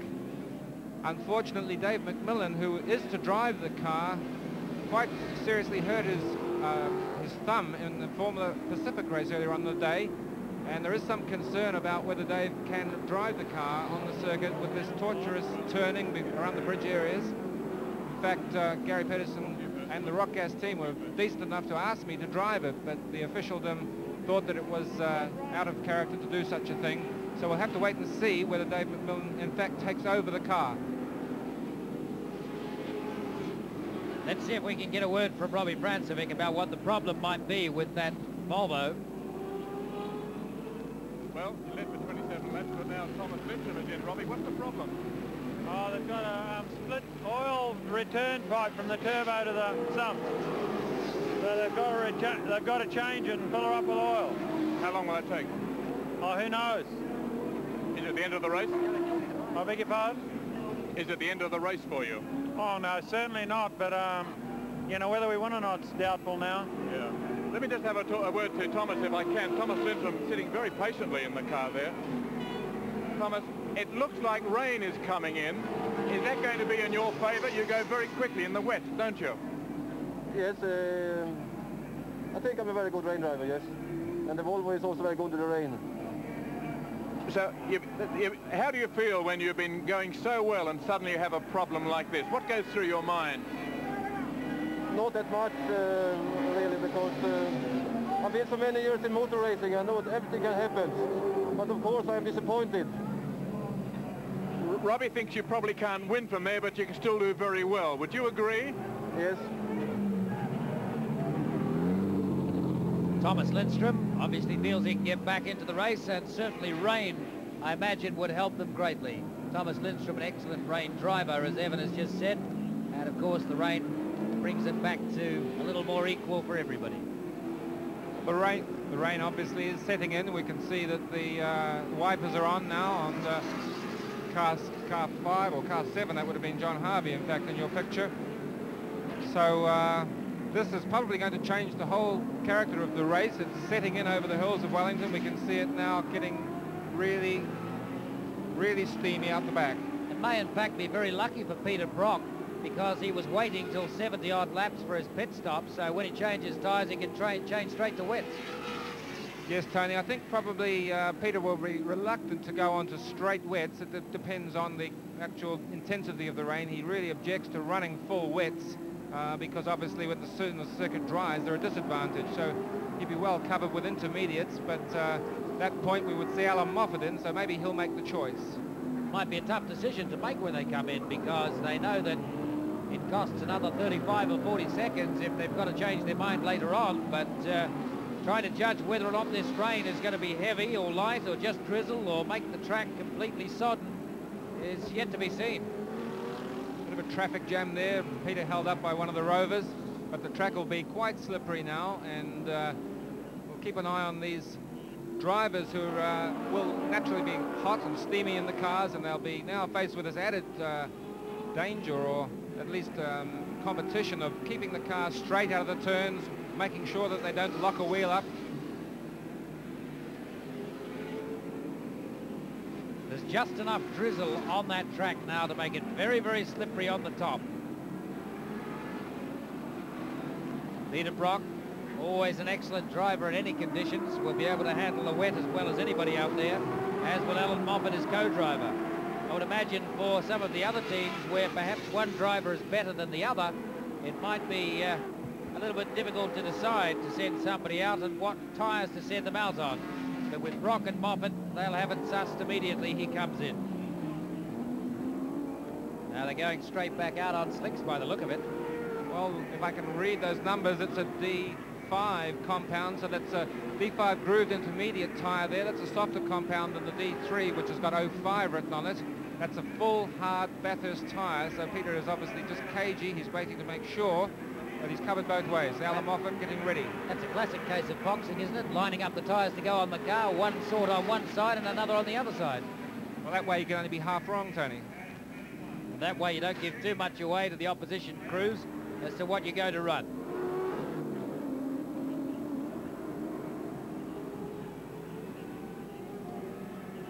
Now here we got the pit stop.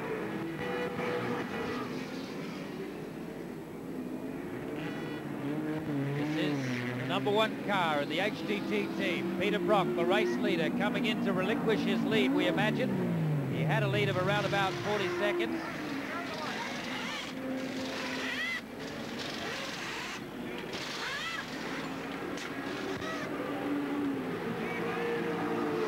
Well, it's D3 slicks going on, so Peter certainly doesn't expect it to be too much of a wet race at this point. He's certainly taking the chance. Uh, they are, are putting Allan Moffat in, so Peter not electing to stay in yet. Well, as we've speculated, it's probably Allan Moffat's decision as to what tyres to put on the car. So something of a gamble being taken by the HDT team on the basis that the rain won't get here as quickly as uh, making the track wet between now and the next pit stop. It's a fairly long pit stop. Car down and Allan Moffat out. We'll see if we can get a word with Peter Brock shortly. But that's the decision they've made to go back out on slicks. Preserving that car, it doesn't seem to be a mark on it. It's a credit to Denny's driving. He's brought it through into the lead at this point and we'll watch for his pit stop, we believe, at the end of this lap. And there is no question that the rain is going to arrive, and I think uh, Peter Brock might be doing what he had just spoken about and coming back for a set of grooved slicks. Well, as, as much as it's uh, an advantage to have a slick pit team who can um, change the wheels in 25 seconds, the in and out loss is about a minute, so that has to be weighed up before a car is brought into the pits for a tyre change. And in the picture you might have just seen a glimpse of the Volvo back out on the track. We probably would have uh, Thomas Lindstrom still in the car, but still smoking. So that's uh, it may be oil that's been on the chassis and is burning away. We'll just have to watch this one. Definitely raining quite heavily out there now. We're getting wet in our commentary box as well But obviously not as much of a problem for us as it is for the drivers. Here's Denny Hulme coming in for the pit stop. This is the scheduled pit stop, so nothing awry with his. And it's going to be intriguing to see what Denny Hulme does in the way of tyres. Well, I would think with Ray Smith taking over the car, they will play play for the safety of, a, of an intermediate. I saw the intermediates ready before. When we zoom in, we'll see this. Um, and now the, the choice is a little bit easier for these boys because the rain is a little bit heavier. Yes, that's a fact. It's a full wet going on the car, and that is a surprise. Uh, one wonders if uh, Peter Brock and Allan Moffat might have made a slight mistake in underestimating the rain at Wellington here, because certainly by the clouds around and the way the weather is moving, it seems as though we're going to have quite heavy showers here. Okay, the wet tyres are on and ready to go. Ray Smith taking over the Coin Bullion car. And it'll be a battle of wits now to see if, in fact, Ray Smith on wet tyres on a greasy, greasy but damp track will have any advantage at all over 05 Allan Moffat on straight slicks. Now that track with the odd bits of fuel and oil that are left over from all the general public driving on these roads will just be coming to the surface with this rain. Obviously, yesterday's rain will have helped a little in washing it clean, but it's still going to be a very slippery surface right at the moment, and you can see just how much some of these cars have had to slow down already. Allan Moffat still out there and circulating. I wonder how long he's going to stay there on those tyres. Well, by my reckoning, which obviously can't be trusted, I would think that the Volvo, car number four, Per Andersson, and the, the white rock gas car should be in the lead because he doesn't appear to have pitted yet. Got tremendous consumption rate or economy. So that probably would put, just crossing the start finishing line now, car number four. Yeah, so in fact, that is the case because after 70 laps, the last official lap order we have saw Denny Hulme in front. Now he's you've just seen him pitted, so he goes back out having lost a couple of places. He, Denny Hulme was leading from Allan Moffat. And down in the pits at the moment we have Denny Hulme. Let's ask him if we can what kind of tyres he thinks are suitable for the rest of the race. Well, Denny, you've gone to wet weather tyres. Is it a bit of a gamble, or are you sure they're the right choice? No, they're the right choice. When you come through the gate on, off the streets onto the wharf, it's really raining very hard over there. In fact, everybody's going at snail's pace. And I envisage that the wind is coming this way and it'll get worse. Well, you were the first to go to wet tyres. It could be a winning decision for you. Well, it's also very close to our fuel stop. So um, we did the combination, fuel and tyres. If there was a gold medal round for, for really crafty, clever driving, I reckon you'd get it. That was a masterful drive. Well, old-timer. you still enjoy it, obviously. Yes, very, very much. Yes, yeah, very much. And of some interest as we go back from the pits and Denny at his pit stop is that Graeme Crosby in the BMW 635 CSI has worked his way up to fourth place. Volvo smoking just about as much as it was earlier on, but not slowing down Thomas Lindstrom. It may have eased a little bit, but it's un under deceleration and braking. It certainly sets into a heavy haze, and uh, Ray Smith playing himself in. Certainly wouldn't want to lose that valuable place that Denny Hulme's worked very hard to earn. There is our fourth man on the road at the moment, Graeme Crosby, former double world motorcycle champion. Having made the transition to four wheels quite well, initially in uncompetitive machinery. And there are only two cars on 60 laps. They are Allan Moffat and Ray Smith, first and second. Third car, which is Thomas Lindstrom in the Volvo, on 59 laps. In fourth place is Dave McMillan, at this stage still officially with Graeme Crosby having been relegated to sixth place now. Lap pace has dropped quite considerably, remembering early in the race it was 1 minute 20 and thereabouts, and now we see lap boards for Allan Moffat at 1 minute 30, so 10 seconds loss. It's not obviously on the start-finish straight, which is comparatively dry. So as Denny Hulme said, around the back by the Taranaki gate, it must really be slippery.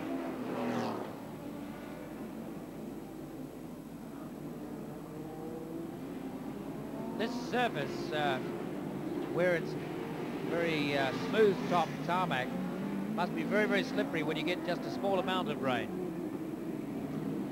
Well, obviously, Tony, the slick, smooth tar seal, which uh, some of our roads in New Zealand have still got, but they're gradually being replaced by the Ministry of Work, by the coarse chip. In fact, as soon as they get a little bit of oil and a bit of water on them, they just become so treacherously greasy. And uh, there's a mixture of surfaces here, the best of it being probably down the start-finish straight, but out the back it certainly is uh, just the moment a drop of water comes, it's uh, like glass. And uh, earlier on, Andy Rouse was saying that at certain parts of the track, water seemed to be bleeding up through the up through the tar seal and actually making water on the track where it didn't seem to be raining.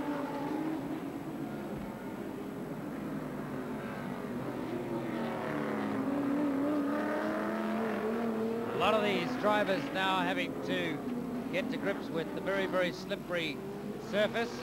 And this was our second place man, Alan Grice, in the pits for the tyre change. What's he going to? He's obviously playing it safe. He's got two choices there. So, a bit of indecision there. There's uh, a wheel off and no wheels going on. So whether it's uh, Mr. Cameron, the, uh, relief driver, going to make the decision or...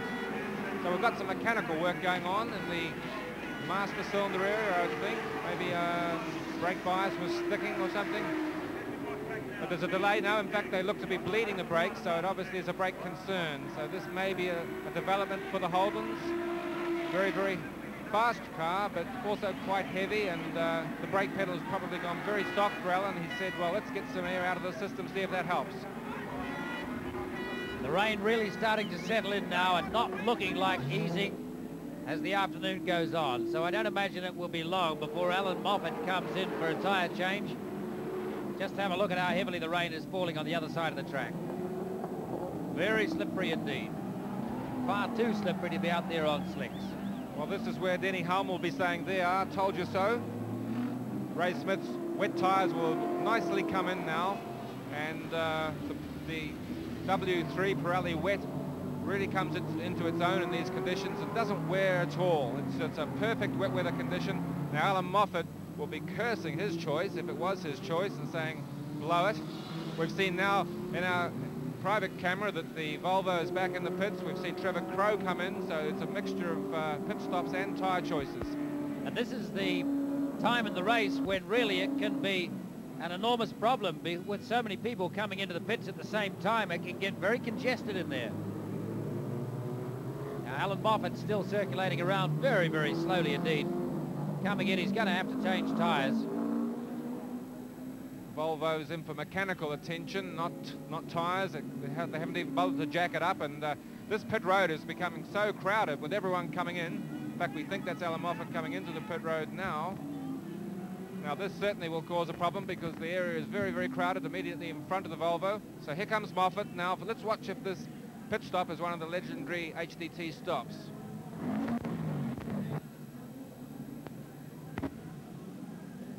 He's chosen to go onto an intermediate tyre as opposed to a full wet. It's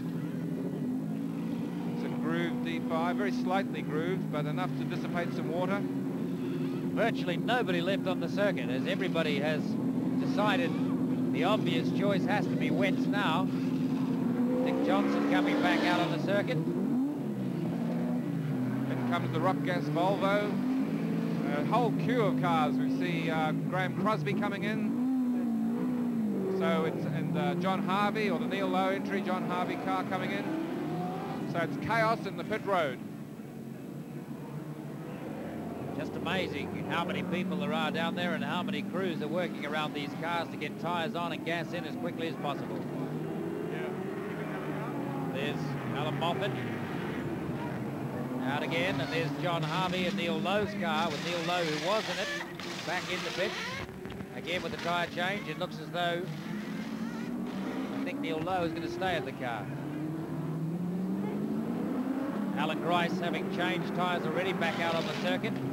So bear with us, it's going to take us a couple of laps to get the order for Grice you. has just done a backwards, uh, nice square dance down by the uh, entry to Jervois Straight. Three-point turn for it to get off. That's an embarrassing position to be in, especially if there's some cars coming through. It's blocking the whole road at this point. In fact, it may have stalled Perhaps it couldn't have happened at a better time in terms of the small number of people out on the track. Well, I would say that Alan definitely has stalled. He's being pushed, or an offer of being pushed by the marshal. That's going to block the entire circuit at that point. Well, at least if it blocks the circuit, I guess they can't get past it. Damaged right front uh, lens from an earlier altercation with uh, something immovable. We just caught a glimpse of that car going around backwards.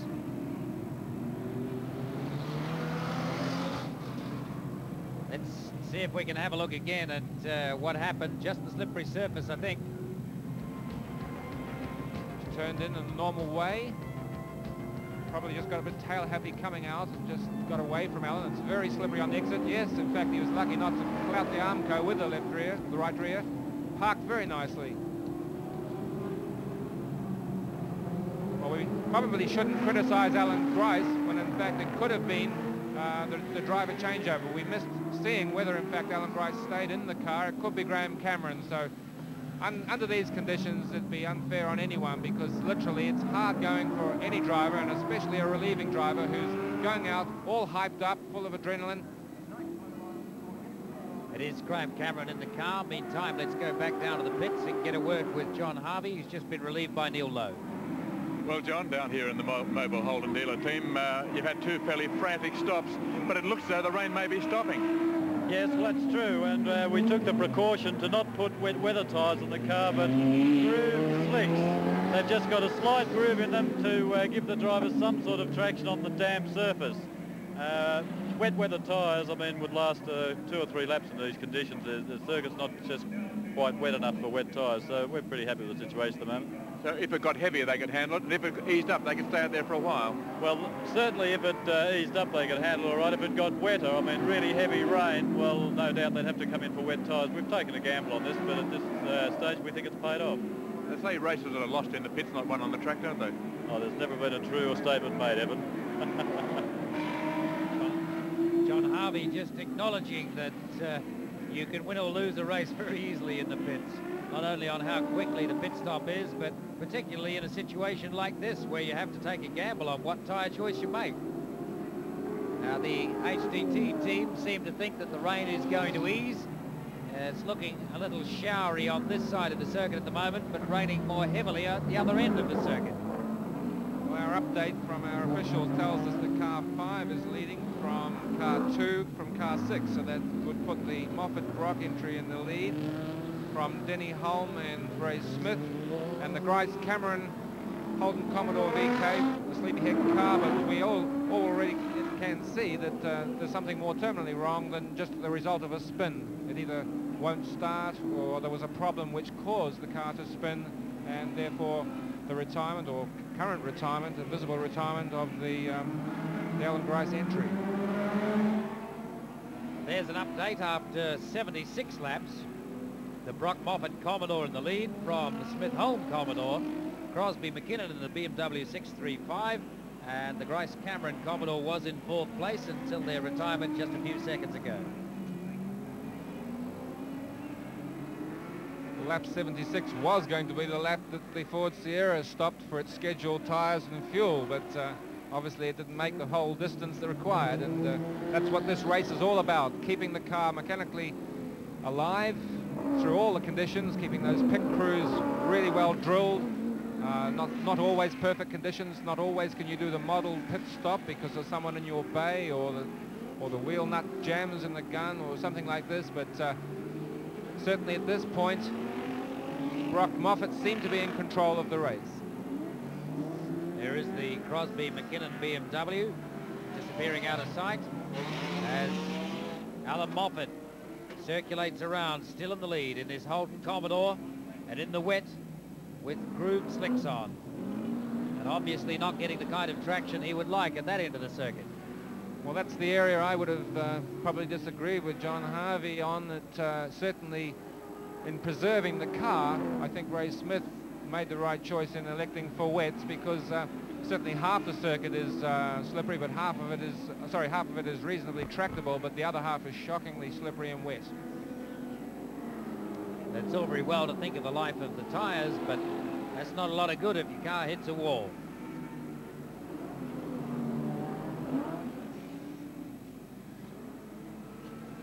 Dave uh, McMillan appears to be out now in the uh, Rock Gas Volvo, so we'll watch his progress with interest after his unfortunate uh, hand injury in the Formula Pacific race. And uh, Tony, you've got some new positions. Positions after lap 77, with uh, our lead car having taken a little bit of a detour. Well, that's what happens when, when you try and extract the utmost out of your intermediates when really it's wet, and uh, it's very, very hard for Allan to temper his uh, aggression when, it, when he knows that he wants to get on with the job and he has to ease back a little bit for the rain. He's worried about preserving his position and just the slightest overstep causes the front brakes to lock and immediately loss of steering and the place. And if a man of Allan Moffat's ability and experience is out there and losing it in the wet, I'd say it's wet, wouldn't you? Well, we're back to the conditions we had in the closing stages of the flying lap competition. It's a, a semi wet and wet and uh, soaking track in certain parts and uh, a bit dry in others and, and, a slight drizzle in the air just to keep things interesting. The order after 77 laps is Brock Moffat in the lead. This is the lead car. The Hulme Smith car still second with Ray Smith in it. In third place, the McKinnon Crosby BMW. In fourth place, at the moment, we have Trevor Crowe. And in fifth place at the moment, Dick Johnson. Neville Crichton in the car at the moment, I understand.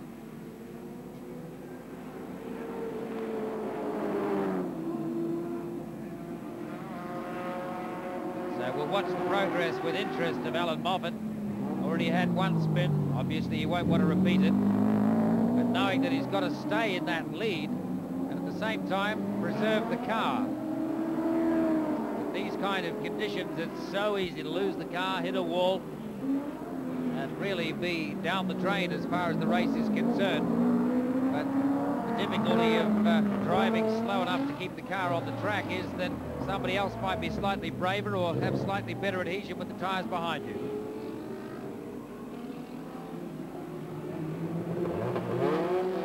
I think if uh, Denny Hulme had still been in the car out there, that the gap between Allan Moffat and Denny Hulme, particularly with the tyre difference, would have been a lot less now.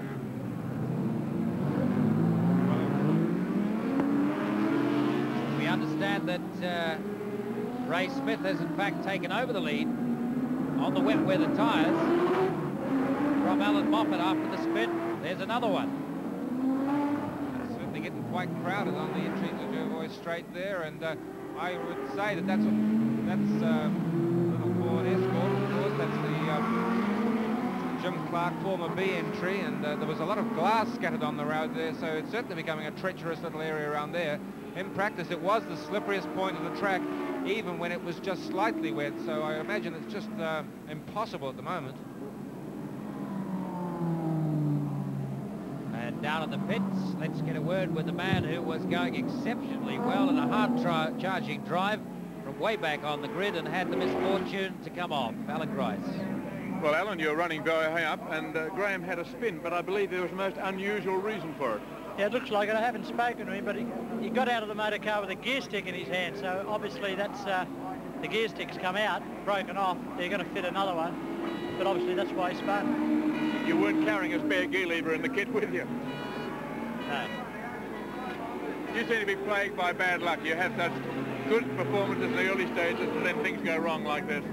Yeah, we're chasing something in the brakes too. The brakes weren't working terribly well, but they were okay. Um, you know, I was still running on the times.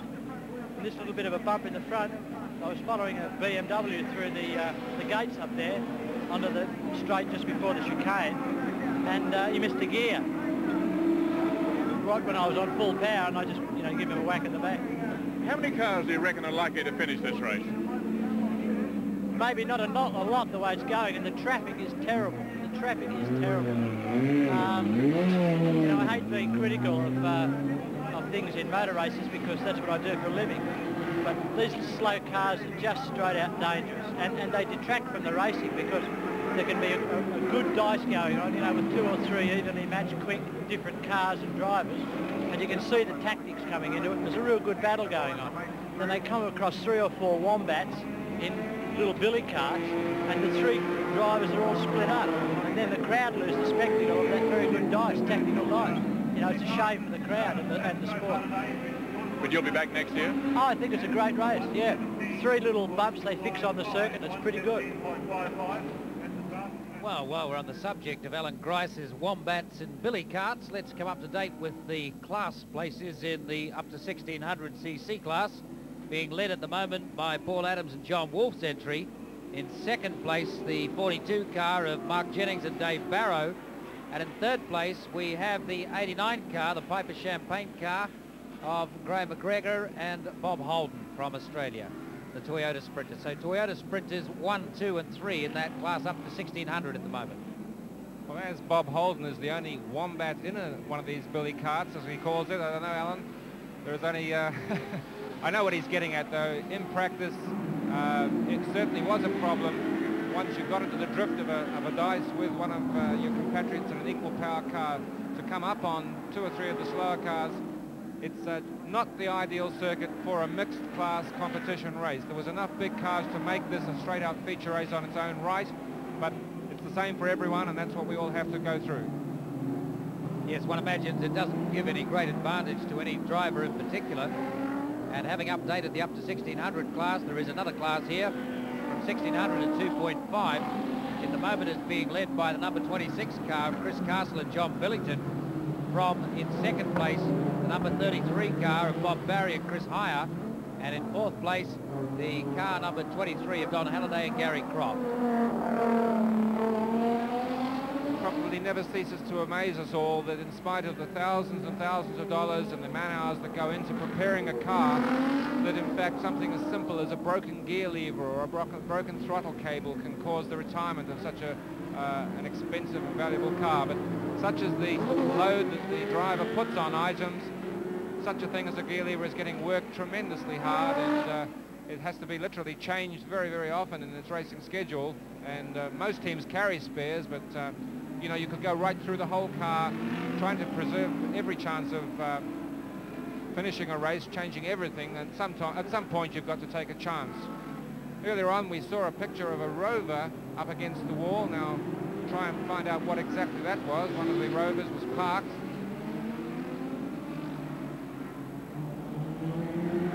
There it is, in fact, in your picture now.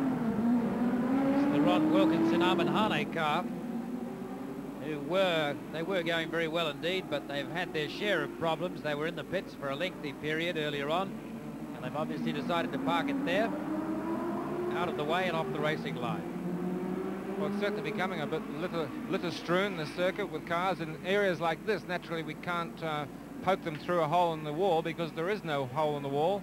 That's made that a little bit tighter now, and it'll be uh, almost single file for the cars approaching the bridge.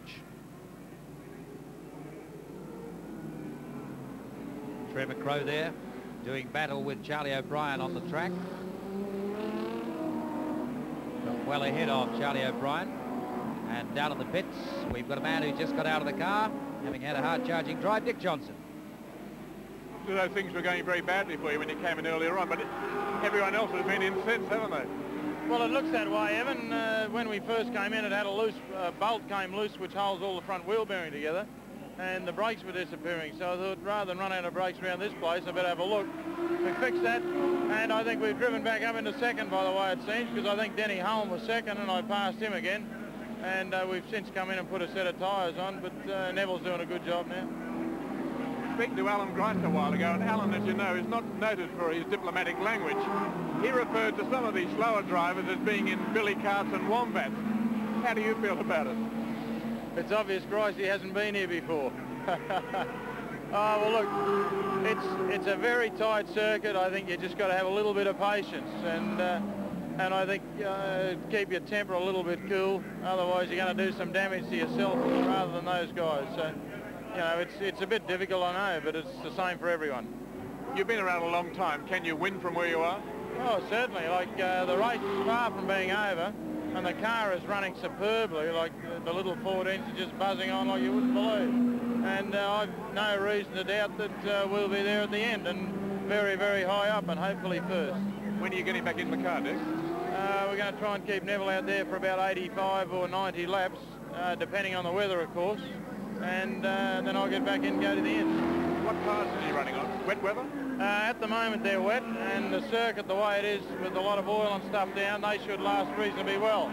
But uh, if if they start to wear a little bit, all he's got to do is uh, get himself into the wet patches and keep them cool. Well, the rain started to fall very heavily, so he might be on the right rubber for the rest of the race. Well, I hope he just hangs in there. Thanks, Evan. Dick Johnson with the co-driver Neville Crichton out there at the moment. Neville Crichton, a man that uh, has improved out of sight in the last two or three years with a lot of race miles under his belt and now considered to be in that top class of saloon car drivers capable of running with any of the top entries in this Nissan Mobil 500 race, wet as it is at the moment. There's a high and wide shot just to show you the weather conditions that prevail. We thought it might have been drying up, but the rain has kept in here fairly constantly. And I think that John Harvey and Peter Brock's optimism about the weather clearing up is perhaps because they live in Australia. We have Dick Johnson unofficially in fourth place. In fact, Neville Crichton, of course, in the Dick Johnson, Neville Crichton car. So he'll be well pleased with that. Um, very unspectacular race in terms of not uh, getting mixed up in any dogfights or hitting anything. Neville doing a good job, and as he, as Dick said, he knows the task ahead of him is to stay out there for 85, 90 laps, and that's a long period under these conditions. So it's a, a real test of Neville's ability and his concentration. As Andy Rouse said earlier on, the concentration required under these conditions is enormous. He'd never experienced anything like a, a, a race on a circuit so tight as this, with all the possible hazards of uh, cars in the way, walls on the outside of you, and, uh, and now rain to just complicate things even further. I wonder how Neville Crichton feels being in the Mustang, having run this race last year in a BMW. And after 85 laps, an update on the placings, still Allan Moffat in first place in the Moffat-Brock Commodore. In second place is still Ray Smith in the Holman Smith. And there's Neville Crichton just gone straight ahead. Spoke a little bit soon for Neville. He um, probably did what we always uh, worry about, the last minute lock up and lose the steering, but no damage done. Probably only lost him five, six seconds. Just enough to gee him up and remind him just how slippery it is. No doubt about this track now, it's totally wet tyres, and I feel sorry for anyone running on anything but those tyres. Going through that order again, Allan Moffat in first place at the moment, Ray Smith in second place, Trevor Crowe in third place, and this car with Neville Crichton in it in fourth place at the moment. Fifth place at this moment is held by car 41, which is Paul Adams, and we might be seeing a repeat of last year where Paul Adams managed to bring the little Toyota Sprinter, despite the fact that it's in the 0 to 1600cc class, right up to fifth place overall, and that's where he's sitting on the road at the moment. It's a great drive from Paul Adams. Well, after the initial burst of all the entrants away from the start there, when Peter Brock and uh, Thomas Lindstrom, sorry, Robbie Francevic and Andy Rouse battled it out they settled into a pattern and I think deep down they all believed what this race was going to be about was just surviving the first four hours in some sort of form that would allow them to really exercise their skills in the last hour of the race. And now certainly all those skills have been drawn upon by these drivers literally to weed their way through the slower cars, keep on line, preserve the rain tyres to their best life. Certainly no worry about looking for wet spots because it's just soaking wet everywhere now and uh, the race is going to develop into a real contest. Brian Lawrence, it's amazing what some of these drivers can do, particularly a driver of the ability of Paul Adams, as we have, is it Leo Leonard or Bruce Anderson? We're not sure which of them in the car at the moment. Check in just a moment. Has gone around. Derek Ongaro, the circuit inspector from FISA, the controlling body of motorsport, will be watching accident incidents like this with, uh, with some concern because that actually is getting close to track blockage material. Obviously, Andrew Bagnall or Paul Radisich and a little escort there took evasive action and uh, avoided an incident, but if two cars did that at that point, it really could cause chaos. There you see one each side of the Pine Pack car,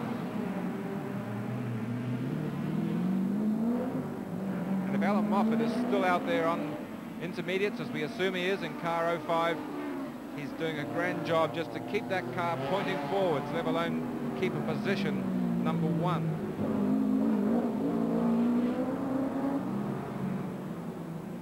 Next time they come around, we'll get the gap for you between Allan Moffat and Ray Smith, first to second.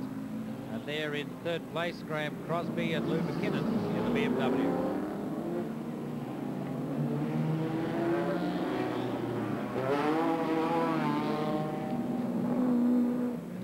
Moffat. Coming around across the bridge this time. I would say there's a possibility they may look at changing the tyres. I think they're really pushing it uphill if they think this weather's going to lift in time for them to take advantage of the slicks. Actually, Graeme Crosby and Lou McKinnon will be very pleased with their current position and third overall on the road. They started from grid number 11 after qualifying in a time of 1 minute 23.5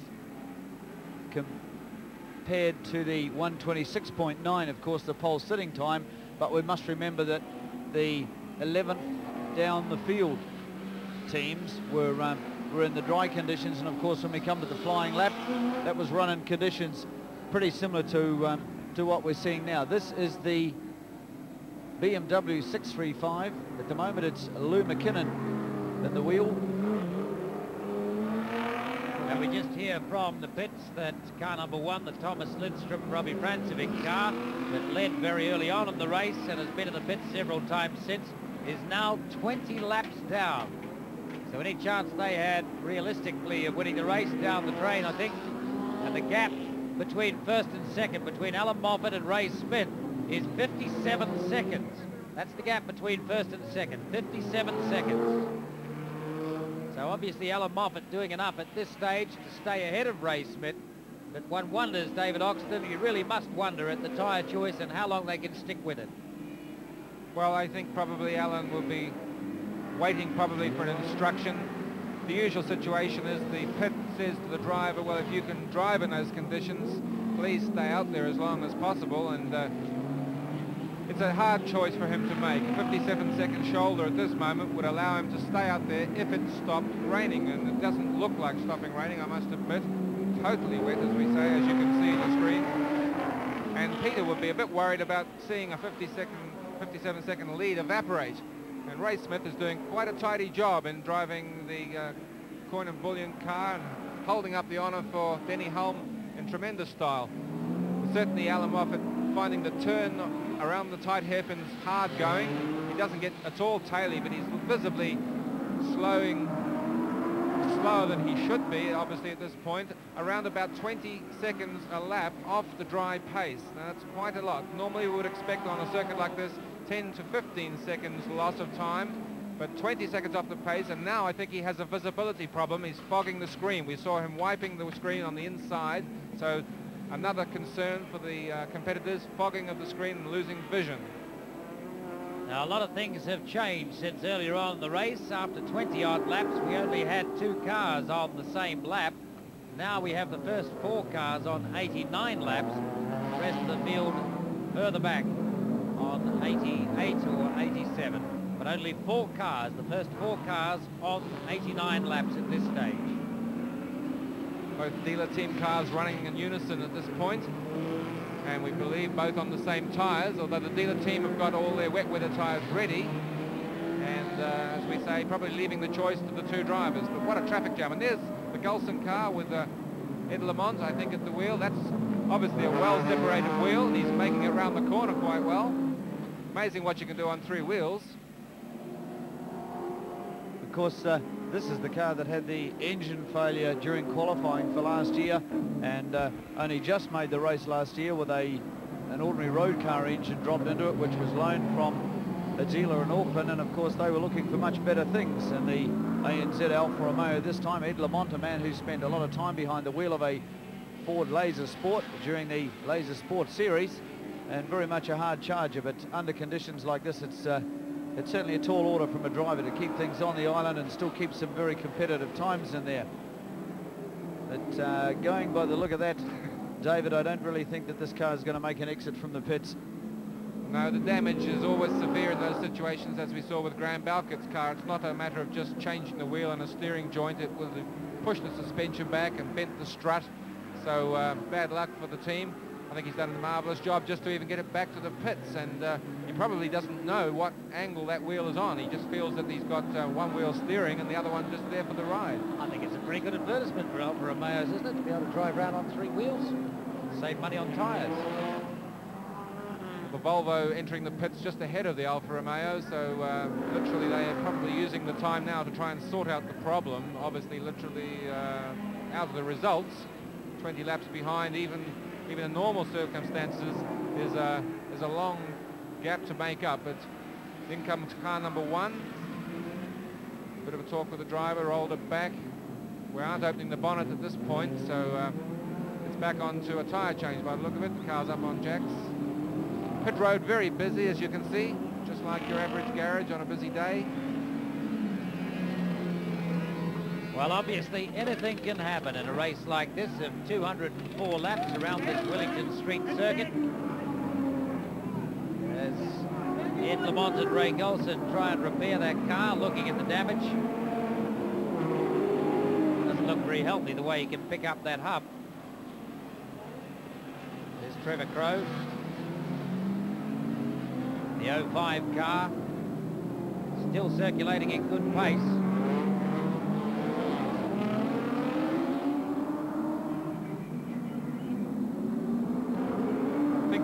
Tony Longhurst at the wheel at the moment. It's the darker overalls of the two of the drivers. Very hard for us to tell. With, with these unscheduled stops, the drivers change their mind about who shall drive when, so we literally have to play it by ear on who's at the wheel. But both Tony Longhurst and uh, Trevor Crowe, excellent drivers in these conditions. They're uh, well used to them and uh, taking a, a, a bunch of seconds there off Allan Moffat. So uh, obviously the right tyre choice in his mind was to uh, use wet tyres. Allan Moffat has to be stroking it now to preserve the car and really just uh, try and stay out there and keep it straight. And just hope that the rain will stop.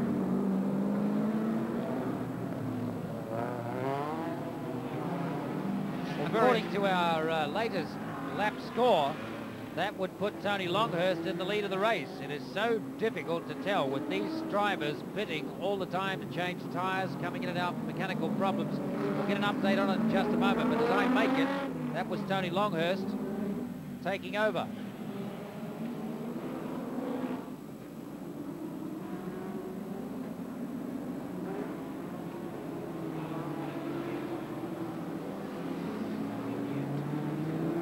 Obviously, we have some problems with the conventional methods of lap scoring at the moment. We'll update it as we come back. Meantime, let's have a look at the highlights. Tested there for a moment in saying that he had taken the lead because it would have taken an enormous amount of catching up to have put him in the lead. In fact, he's just unlapped himself into second place. And so Allan Moffat still in the lead, holding tenuously to it as the 05 car slithers around in the wet and the sun has come out since you've been away. So Tony Longhurst in second place in the BMW. In third place is Ray Smith in the Commodore. And in fourth place at the moment is Lou McKinnon in the McKinnon Crosby BMW. Just uh, a lap down at the moment. There's our race leader. Just being passed by a number of the drivers in here on wet weather tyres, but still hanging on to the lead because all those drivers were at least a lap, some of them two laps down. So Allan Moffat really having something of a decision to make fairly shortly. The sun has come out again and the track may dry, but he's losing places flat out at the moment.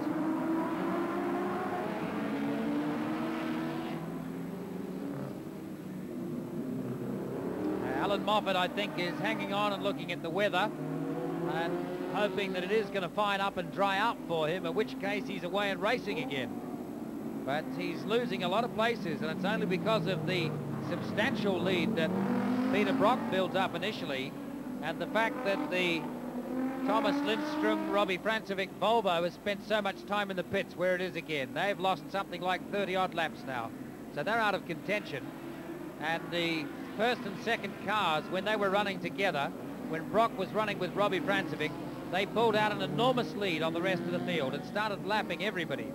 And they'd lapped all but two cars uh, by about lap 50. So then when the rain started coming down and Allan Moffat decided to go out with grooved slicks rather than wet weather tyres, he's lost places, but not enough to lose the lead yet.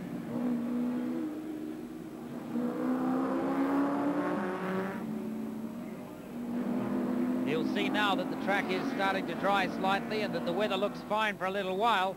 I doubt that that's the last shower we've had for the afternoon. But Allan Moffat taking the gamble, as they did with fitting those tyres in the first place. And knowing that uh, if the weather does dry out, they're going to be in luck again. Let's go down now with Evan Green to the pit road and have a talk to Holden's team manager. And the team manager is Tony De Gennaro. Tony, it's a very difficult situation out there. Uh, the weather seems to be clearing up, but is Allan Moffat going to make the decision whether to come in, or will you tell him whether to come in and change tyres?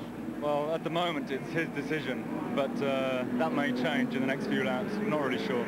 It looks like it's clearing at the moment, but we're not sure what's going to happen. It's one of these moments where races are won or lost, isn't it? Exactly. But there's a long way to go, though. Yeah. It's a lot on a, the driver to have to decide that, but I think Allan Moffat has the experience to know whether he can handle conditions, but he's being passed by a lot of cars. Exactly. But as you say, he's got the experience and he knows what to do. What tyres do you have available for him when he comes in? I can see two down here. Let's just have a look at them. Yeah. Well, we have the choice of uh, a Dunlop full wet tyre there, and we have our own grooved uh, uh, Pirelli slicks there, which uh, are quite good in the wet too. Now, both those give more grip in the wet than the ones he's got at the moment. Yes, they do. But if it's really bad, he'd go for these ones here with Only the... in very heavy rain, yeah, that's right. So you'll, when he comes in, you'll have to ask him what he wants and then fit them and get him out as quickly as you can because That's that right. lead is shrinking all the time, isn't it? Yes, that's right. Exactly. We'll do it as quickly as we can, but again, it's in his hands at the moment, so we'll have to wait, see what decisions he makes in the next few laps. This is your first job as, or your first time as team manager for a big race with the team, isn't it? That's right, yes. You chose a good race. I certainly did. but um, we'll be okay. Okay, thank you very much. Tony Gennaro. So there's still some confidence in the Holden dealer team that even if they have to make a decision fairly shortly, and they do decide to change tyres, they'll be able to do it quickly enough not to cost them too much in the way of advantage. So there's the order after 92 laps. Brock and Moffat in the lead. Allan Moffat driving at the moment. Ray Smith driving in the Smith-Hulme Commodore in second place. And Trevor Crowe and Tony Longhurst with Longhurst driving at the moment in third place. Graeme Crosby and Lou McKinnon in fourth place with Lou McKinnon at the wheel at the moment.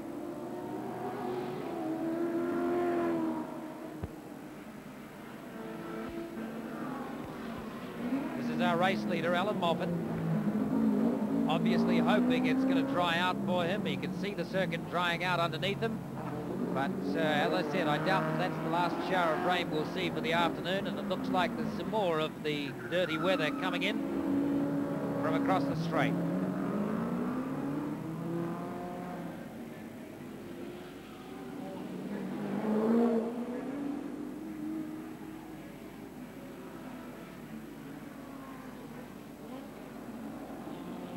Obviously some bigger gaps around the circuit now between these cars.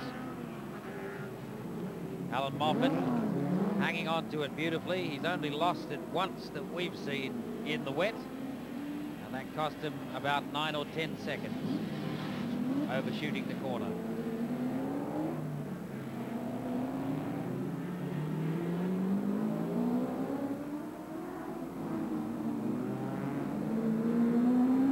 Quite interesting little talk there with the Holden dealer team about who makes the decision of whether or not to change the tyres and in this case they're leaving the decision to the vast experience of Allan Moffat on all kinds of circuits in all kinds of countries. In fact, Tony, the signboard that went out to Allan Moffat two laps ago was a, a chalkboard with written on it wets and a question mark. So obviously uh, they were prompting Allan to give serious thought to it.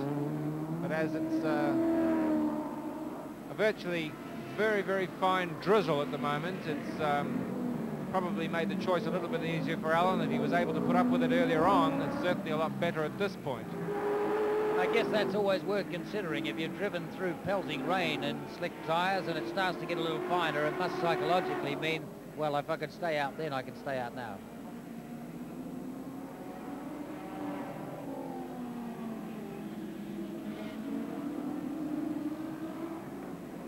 Still the order is Allan Moffat from Ray Smith, from Tony Longhurst, from Lou McKinnon after 98 laps.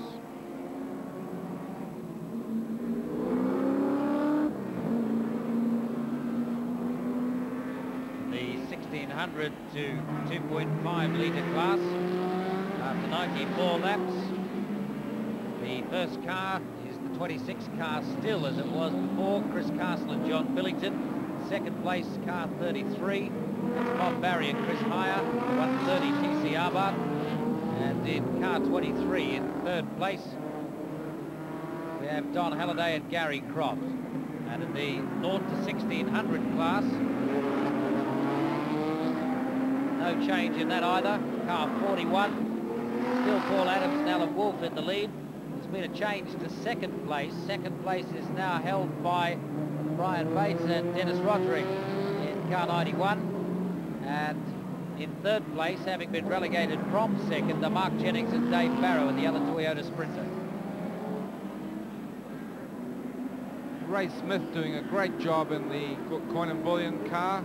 Ray not, not done a lot of driving and uh, obviously lives a little bit in the shadow of the former world champion Denny Hulme and certainly this race is uh, proving to be one of Ray Smith's better drives of all time. A very difficult task to go out there on a demanding circuit like this street circuit and to drive in wet weather. As David Oxton said, he has lived somewhat in the shadow of Denny Hulme and often has thought, been thought not to be as good a driver. I think he's proved today that uh, he's certainly learned how these Group A cars work and a very courageous drive in the wet. Now there is the race leader and there's Ray Smith behind him. Now if our lap charts are right at the moment, that is the amount that Ray Smith has caught up with his wet weather tyres on Allan Moffat on the slicks. And if he's catching up at that rate, that, as I make it, will be the lead if he can get close to him and close enough to pass. He's catching at an alarmingly fast rate at the moment with the better tyres. This is an awkward time for Ray Smith because without having experience at dicing for the lead, literally, uh, he'll have to be very careful how he approaches the corners and not get himself sucked into a, a costly error. He's doing a, a, great job, and if he keeps this up, literally he'll be um, well, in top favour with Denny Hulme, his, uh, his teammate, and certainly um, no sign of any tension or errors on Ray's part. He's got a few cars in his way, and that's all there is, as we understand it, between himself and the lead, currently held by Allan Moffat.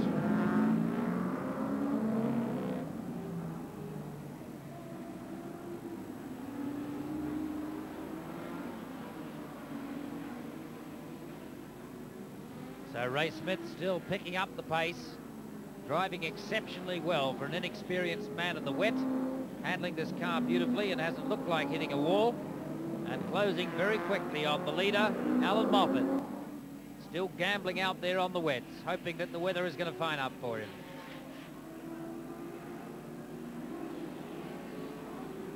Let's go down to the pits where Evan Green has Trevor Crowe, their team currently sitting in third place. Well, Trevor, there might be two Commodores scrapping for the lead, but you and uh, the BMW with Tony Longhurst driving at the moment are very well placed. Yes, well, we think so. We were hoping really for rain, although it's not good for the crowd. It's uh, better for the BMW.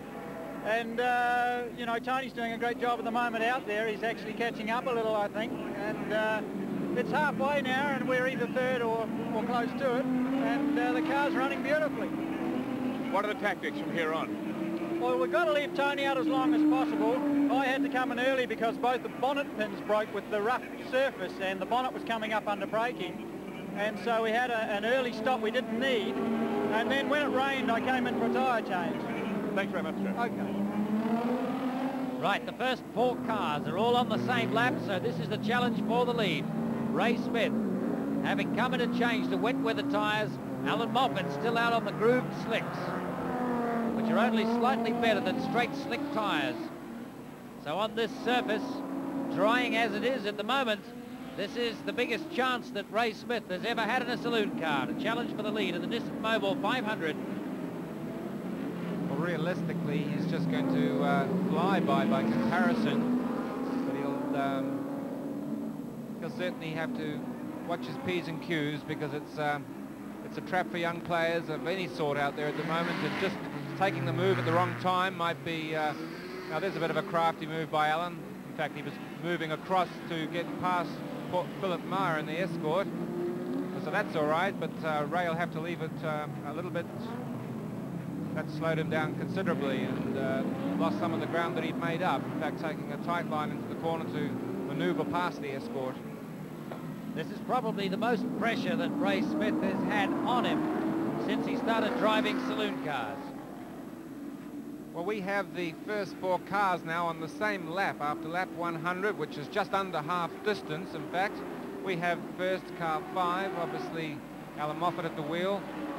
Car number two, Ray Smith, the Golden Holden in place two, at least at this moment.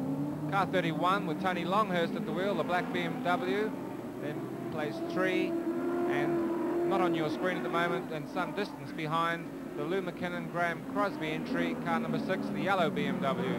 So BMW, Holden's first and second, BMW's third and fourth. And there's the Pine Pack Mustang appeared to be parked just before the Taranaki gate.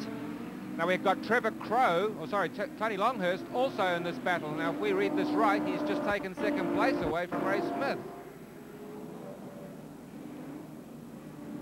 So realistically again, give it only a couple more corners and we're going to have that black BMW in the lead and that's a that's a position a lot of the pundits were predicting for the BMW they said you wait till two or three hours are gone and uh, those BMWs which you've written off as being competitive Group A cars will be back in the lead and look at this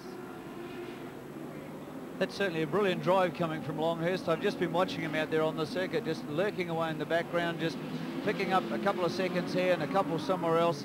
And um, he's certainly putting together a very, very smooth drive. There's the number four Rock Gas Volvo there, which has been driven by the Swedish driver Per Gunnar Andersson and New Zealander Dave McMillan. But um, at just over two and a half hours of the Nissan Mobil 500, Tony Longhurst of Queensland and the Archibald BMW 635 that he's sharing with Trevor Crowe has taken the lead.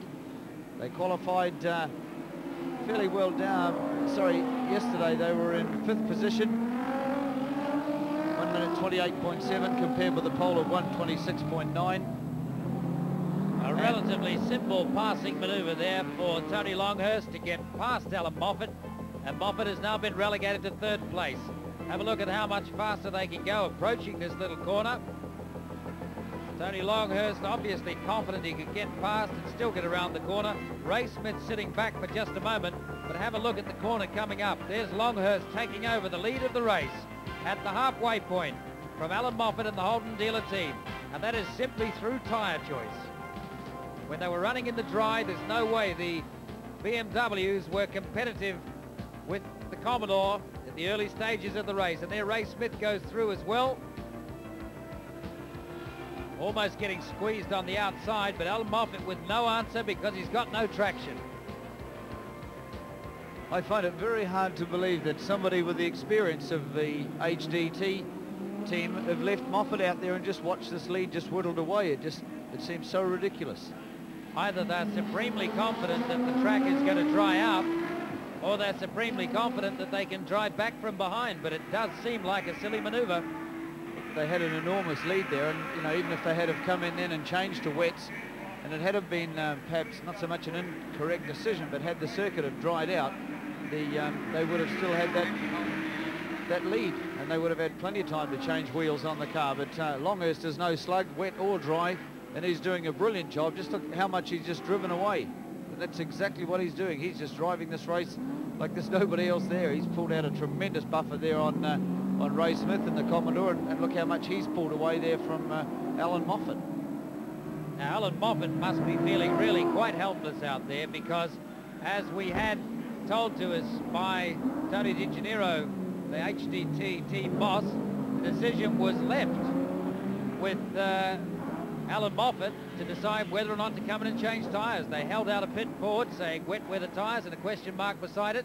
He opted to stay out there and obviously thought the weather was going to dry up enough for his grooved slicks to give him the advantage. But those that fitted the wet weather tyres have obviously pulled a big advantage. We've watched the dealer team's lead being whittled away, and there's the sad faces. And I think now that they've uh, they've got the tyres lined up and are ready for a change again. So after lap 104 laps, Tony Longhurst leads from Ray Smith, from Allan Moffat and Lou McKinnon. For all that though, Tony, we've got to keep in mind that uh, the race is only half distance and uh, with the attrition rate we saw in the first two and a half hours or thereabouts, it's um, it's a whole, well, it's a, it's a, whole open contest from now on. Sure, there is uh, an element of doubt as to whether Allan should have stopped or should even stop now. But we've still got to see another driving spell for Peter Brock. And we, we do believe that he is the fastest car left in the contest with the demise of the Sierra and the Volvo. And uh, at this point, probably the advantage of the wet tyres is slowly but surely evaporating. You can see there's quite a dry line through that section there now. So certainly the, what is going through Allan's mind is if I come in now and change to wet tyres and have to go out again for a short spell before I come in for Peter to take over, then it's only going to lose more time. And as we said, probably uh, the whole exercise in and out is a loss of 40 or 50 seconds. Even at best, a pit stop to change tyres, if overall time lost is somewhere around a minute. So even with one minor mishap, you could lose an entire lap with coming in to change the tyres. And it now remains to be seen if it does fine up how long those wet weather tyres will last because they're really only good for two or three laps if it is absolutely dry. So long as there's some moisture there to keep them cool, they'll be okay. But if the track dries up and all the lines are dry, then they're not going to last very long at all. They'll start to blister very quickly. We're just looking at the times now. Longhurst has pulled out some 16 seconds on uh, Ray Smith in just that very short space of time. and, uh, and in turn has taken some 27 seconds off Allan Moffat. So this really does seem a rather ludicrous situation. But the crew are down here, although everybody's at the ready in case uh, he decides to come in, but there um, doesn't appear to be any notices going out on the board to advise him of that. Looking at the dealer team lap boards, we see that uh, Allan Moffat has got lap 30. So whether we think we think that's lap 30 to go at the wheel, and on the Neal Lowe John Harvey car board it says lap 4. So we must be looking at a pit stop coming up soon. The comparative lap times for the two Holden dealer team cars, uh, Neal Lowe 135, Allan Moffat 1 minute 37.7. So uh, nothing much in it there, around about 15 seconds off the pace. And uh, maybe J John Harvey, Neal Lowe have got it worked out better because they've in fact only got four laps to go to make their tyre choice decision at the scheduled stop. And it almost makes makes us wonder whether it's almost too late to make the change. You might as well run out the course of the stop and uh, course of the spell and uh, not waste too much time in the pits on an unnecessary stop. Now, Ray Smith is actually coming into the pits in our picture now, the Golden Holden. Now that seems to be a bit early to me because I saw Denny Hulme not many moments ago at the other end of the pit with his helmet off. So what is the problem? The Harvey Lowe Commodore, having just gone past the uh, the Brock Moffat car, just drove past him down the straight line there with ease, and also just looking down from our commentary position into the pits, the uh, the Ed Lamont ANZ Alfa Romeo that you saw making uh, a rather unscheduled stop into the pits there. Um, they're still carrying on repairing the car and they continue to go on. But here's Ray Smith going back out again. We're not sure um, exactly what he came in for, but it was a very short one indeed, David. We opened the left-hand side doors, uh, Brian. I don't know whether it was, um, certainly wasn't time enough for a cup of tea. Maybe there was something rolling around the floor that was getting under his pedals, or uh, maybe one of the gold bars that he carries on the floor as ballast got broke loose.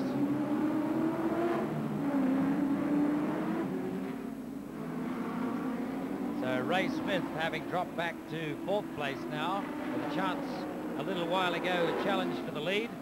He didn't get there quick enough because Tony Longhurst got to got to uh, Allan Moffat more quickly, catch him up and got past him. Leading its class, the 1601 to 2.5, car number 26, the Chris Castle John Billington VK Commodore.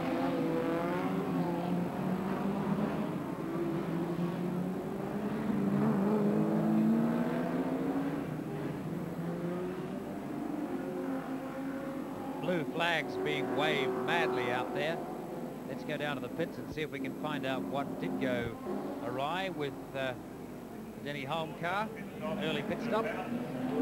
Well, Denny, what's that you're holding in your hand? Well, Ray just called up and said he's coming in a big hurry, and this is what he had in his hand. Um, the gear lever's broken off, as you can see, and he's had a little lever about that long now that remains. It's going to be very difficult for him. Send him on his way. Now we're going to get some vice grips when he comes in, if he can cope with it for a while, we'll clamp them on and it'll probably be my turn to go out. Let's have a look at that end again. Looks very sharp. He's going to cut his hand on that, surely. It certainly is. The boys are also arranging to put some rag over and tape the end, see if they can get a, you know, a better grip for him. How long is the lever that's left? Only an inch or so? Only about an inch or so. But it, the gearbox is very nice, and if he's kind to it, he should be able to change gear. Now, do you know where you are? Because one thing that's common down the whole pit area is people don't know where they're running. It's a lot of confusion, isn't there? Well, we think we're number one on the road. Um, that might have altered it, that quick pit stop then, but um, because, just because um, Moffat's got the penalty, we're not sure where we are. It's going to be quite a burden on your shoulders when you go out, Denny, isn't it? Well, I'm hoping like anything's going to dry. Then I can give it a real stir. Denny Hulme hoping it'll dry up so he can have a real go in this car. He still loves driving the saloon cars. He's a very precise driver, but still capable of driving very, very aggressively too. And uh, as you've just had explained, Ray Smith has quite a problem there with a very sharp-ended, very short gear stick to change gear. As Denny Hulme said, it's quite a kind gearbox to the changer. So uh, he should be able to circulate out there at reasonable pace and continue. Not far away from a stop now for Ray Smith to come in anyway, for Denny Hulme to go out again.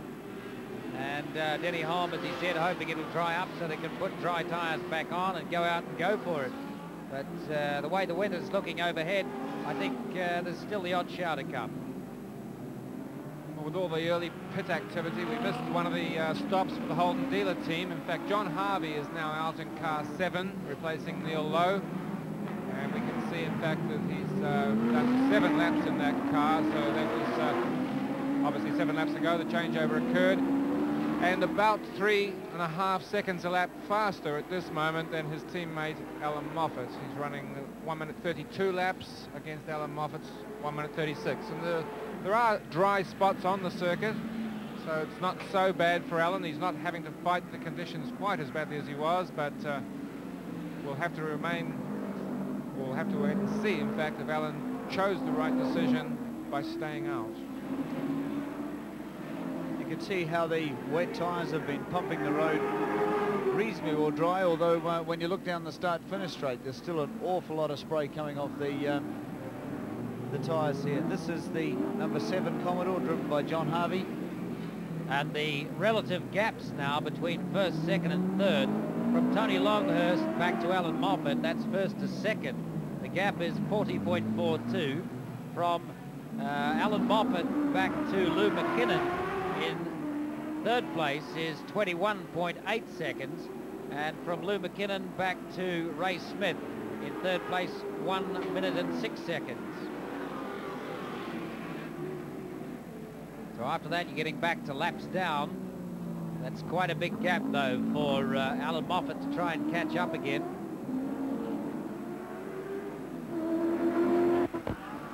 Well, the rain's really starting to come down now on the start-finish straight, so I think that uh, Moffat's definitely going to have to come in and do something about those tyres unless uh, they've decided that they want to run in second position.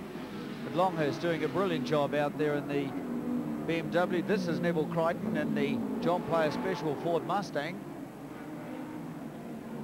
A very steady drive coming from the Aucklander. And dare we say it, the rain is definitely here again. Certainly it favours the chances for the BMW team. Two very close, closely matched drivers, Tony Longhurst and Trevor Crowe, both experienced enough to know the conditions. And of course, here's Graeme Crosby, not to be underestimated, in the uh, Trans-Tasman insurance car, car number six. That's fourth position on, on the road at this point. On the same lap, although quite spread out in that lap, of course, but a very good uh, performance by Graeme Crosby, obviously well known as a motorbike rider, and he's broken in gradually into the saloon car brigade and then graduated right to the top of the tree with a BMW 635. Top car for this sort of race, very reliable and holding up the honours for the German it's mark. Lou McKinnon in the car. It's Lou McKinnon actually in the car at the moment making his way back down the start-finish straight again. The car bearing a few battle scars on the back. You can see the rear bumper bobbing up and down there, but uh, David, there's actually very few cars on the circuit that haven't got uh, a little bit of panel damage. That's right, Brian. The, the, uh, the damage there, obviously the left rear bumper's caught an Armco somewhere. It's very, very easy to run slightly wide, just give yourself a bit of a bump. In fact, both sides of the car. There's a few bearing missing lights. And remember last year we had the Volvo, which didn't seem to have anything left on one on any of the corners. It was um, the bonnet was coming up and the park light lenses were falling out. But really speaking, with these treacherous conditions, I think the, dri the driver's done a remarkable job. There's very little accident damage, and they're obviously respecting each other's abilities to uh, have their own race. So remarkably little accident damage, or certainly terminal damage. There's a little escort there with a bit of road rash on the front. The Dick Johnson Mustang, Neville Crichton driven at the moment car, that's uh, unmarked. That's a credit to those two blokes that have um, gone through a variety of conditions and kept their noses clean. It's a beautiful looking car, brilliant black paintwork. Now we see the 05 car coming in now. Obviously it will have wet tyres put on and we suspect that Peter Brock will get in, but let's watch this. Now Allan Moffat staying at the wheel. That's very unusual, but maybe Peter's decided that he would run out of the laps allowed, remembering the drivers are only allowed to do a maximum of 135 laps, and we know the race is 204. So Peter's elected to stay, uh, leave Allan in the car. Allan furiously getting signals to get that sticker off the window because it's been jamming his wipers for quite a while. Wheels on, and off he goes again. Allan Moffat on wet tyres, thanking his crew and ready to charge out on the track. That was a very rapid change that went on then, David, and uh, Moffat has been gambling on tyres. Obviously, he decided he'd lost, that the gamble hadn't been worthwhile because eventually he came in and took out the, uh, the real wet weather tyres to see if he can unmend some of the damage that has been caused in this last half hour of the race. He, he was uh, confused, I suppose, by the weather, as most of us in the pits were. It just was terribly hard to tell whether the rain was going to cease or whether things would get worse. He just didn't know and decided he'd wait out there and see. Well, he's had trouble, as you see. Graeme Crosby has had trouble also. Probably wishes he was back on two wheels. Almost was. He was in third place. Got the car going again. Doesn't seem to have caused any damage. Oh yes, there's a bit of a flap at the back. Maybe no more than superficial though. The bumper at the back has hit something and been torn. You'll see as he goes past. Just an update on the positions at lap 111. First, car 31, Trevor Crowe, Tony Longhurst. Tony Longhurst at the wheel. Car, car 5, second, with Ray Smith at the wheel. Car 2, sorry, car 5, obviously Peter Brock, Allan Moffat car in second place. Car 2, third for Ray Smith. And car 6 in fourth place, the BMW of Graeme Crosby, Lou, Lou McKinnon. We don't believe he would have lost any places on that little spin. In fifth place, we have car 17, and that's actually one lap behind for the John Andrew Ford of Dick Johnson, Neville Crichton. So uh, one lap behind, not a problem at this point, remembering we're only just over halfway. And the, wet, the rain really set in again now. It's back to exactly what it was an hour ago, half an hour ago, and uh, certainly wet weather tyres are the norm. Yeah, diabolical conditions out there at the moment. You can see a lot of tail wagging going on. Moffat just staying in front of the smaller car. Not so bad for the drivers of the small cars. They haven't got the same weight, the same problems with manoeuvrability and the same demand on their tyres as the big, powerful, heavier cars have. But if ever there was a race that may well be decided by the weight of the car or the choice of tyre, it could be this. Do you agree, Brian Lawrence? I certainly do. You know, these guys are really doing a commendable job, and uh, we were just discussing the amount of panel damage that's on a lot of the cars that the Crowe Longhurst one is unscathed at this point, and um, let's hope that it stays like this. These smaller capacity cars handling the situations here very well. Of course, um, we're going to see them fairly well up on the leaderboard, the same as what we did last year. It's been a race of high attrition, without a doubt. We've seen some very notables go out. Andy Rouse in the Sierra, um, he went out in the early stages. Allan Grice is gone. Graeme Bowkett's gone. The Jaguar went out with a um, another expensive engine failure. Um, they certainly won't be very happy about that. We believe it was a very expensive engine that was put into the car. It was due around about November and it was only fitted late last week and uh, their race was indeed a very, very short one. But this is the race leader, Tony Longhurst of Queensland, in the BMW that he shares with Christchurch. Trevor Crowe, a man who's very, very quick and well remembered for his efforts in the Oldsmobile-powered Toyota Starlet. Well, to put Tony Longhurst's drive into perspective, he's coming up to lap Ray Smith. And it's not that long ago, probably 15, 20 laps ago, that we were talking in terms of him taking the lead away from Ray Smith. Now, obviously we know that Ray's had a pit stop and uh, thrown out his gear knob, but um, a tremendous drive by young Tony. He's showing um, what a good Aussie driver and a good BMW car can do in a funny little track like Wellington in the rain.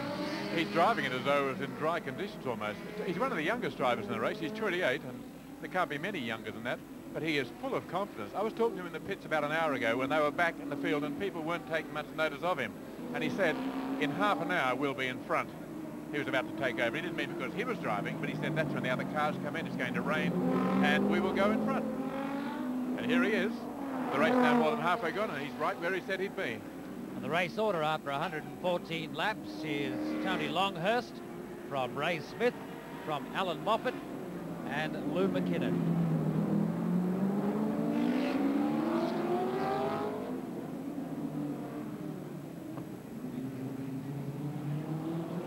Tony Longhurst going past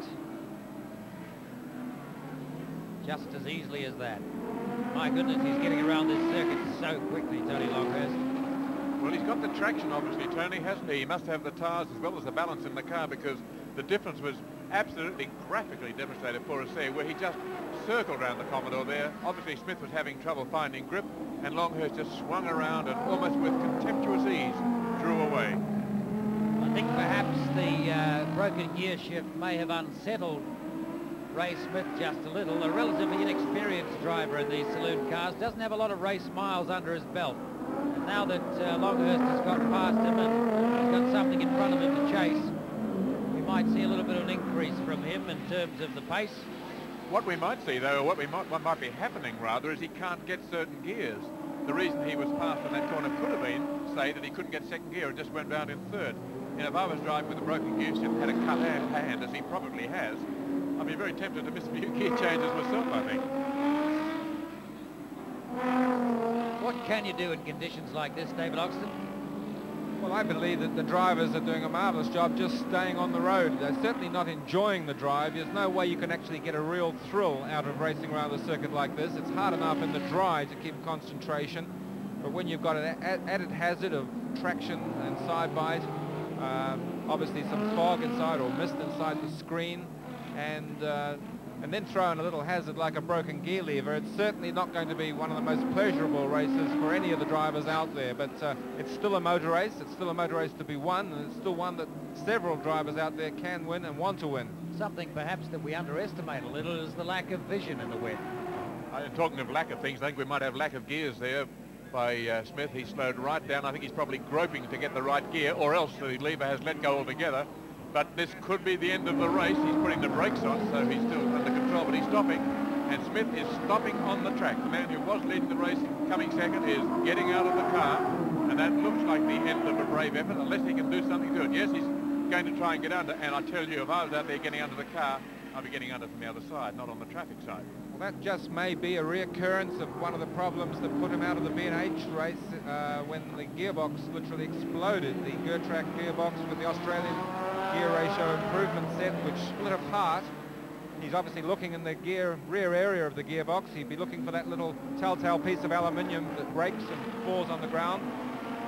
He's obviously trusting his fellow drivers to stand on that straight in what is a precarious area for anyone to be in. So what, is, what is the actual fault with the gearbox, David? You're quite familiar with these cars. The uh, gear set which has been homologated for the Group A Holden uh, was obviously one that Peter Brock had uh, made specially suited for Bathurst. In fact, it's different ratios and different metals used in the uh, the makeup of the gears as as to the originals made in Germany. And uh, there was a certain amount of problem during the B&H series with some of these gearboxes, and uh, it may well be showing up as a weakness. It actually breaks the lay shaft in half. That's the lower gear and the uh, lower gear shaft in the gearbox, and it just literally loses drive causes something like about $11,000 worth of damage in the process. It's a very expensive transmission to repair and uh, usually does a lot of damage. And that looked as though uh, he just by the Dick Johnson car there. In fact, almost took the nose off. Some interesting times as we watch these two cars, by the way, from our uh, lap scorers. Since uh, Allan Moffat changed to wet weather tyres and went back, his times have improved quite remarkably before he uh, came in for the new wet weather rubber, he was circulating around 1 minute 36, 1 minute 37. Since then, he's going around 132, 133. So he's picking up something like four seconds a lap, and that's going to make quite a difference to the outcome of this race. I think most of the locals here would have assumed that once it started to rain with the sky as it was, that there would be a continuation of rain.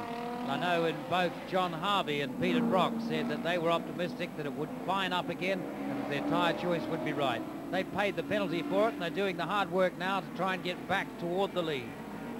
Well, Tony Longhurst's ploy at this moment, I would believe, is knowing that the form of the other cars is not to be able to run as quick as him, he would be trying to capitalize on that and make as much ground if he's literally pulling away by what looks like about two or three seconds a lap from the field, then he's going to, it's going to be the easiest two or three seconds comparatively that he will ever get therefore if he builds up this big shoulder and extends it even more, it's going to make it that much harder for the HDT team to catch him, even if the conditions did dry. And I think we, miss, we must bear in mind also that his co-driver, Trevor Crowe, will certainly not be any disadvantage. If Tony Longhurst can go this quickly, you can re pretty reasonably assume that Trevor Crowe will be right on the same kind of pace.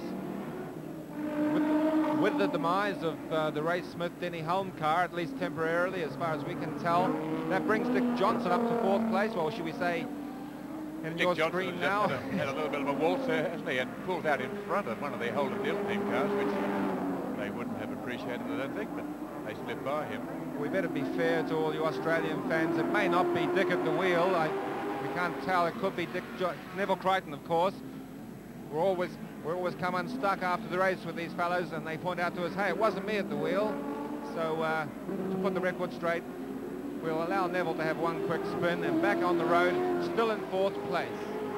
Yeah, I think it was Neville. Dick is still in the pits, or he was when I saw him just a few minutes ago. So we'll say it's Neville Crichton who had the had the spin. He's staying well within reach of uh, the car in front, though, of the Holden Dealer team car. So he's making amends.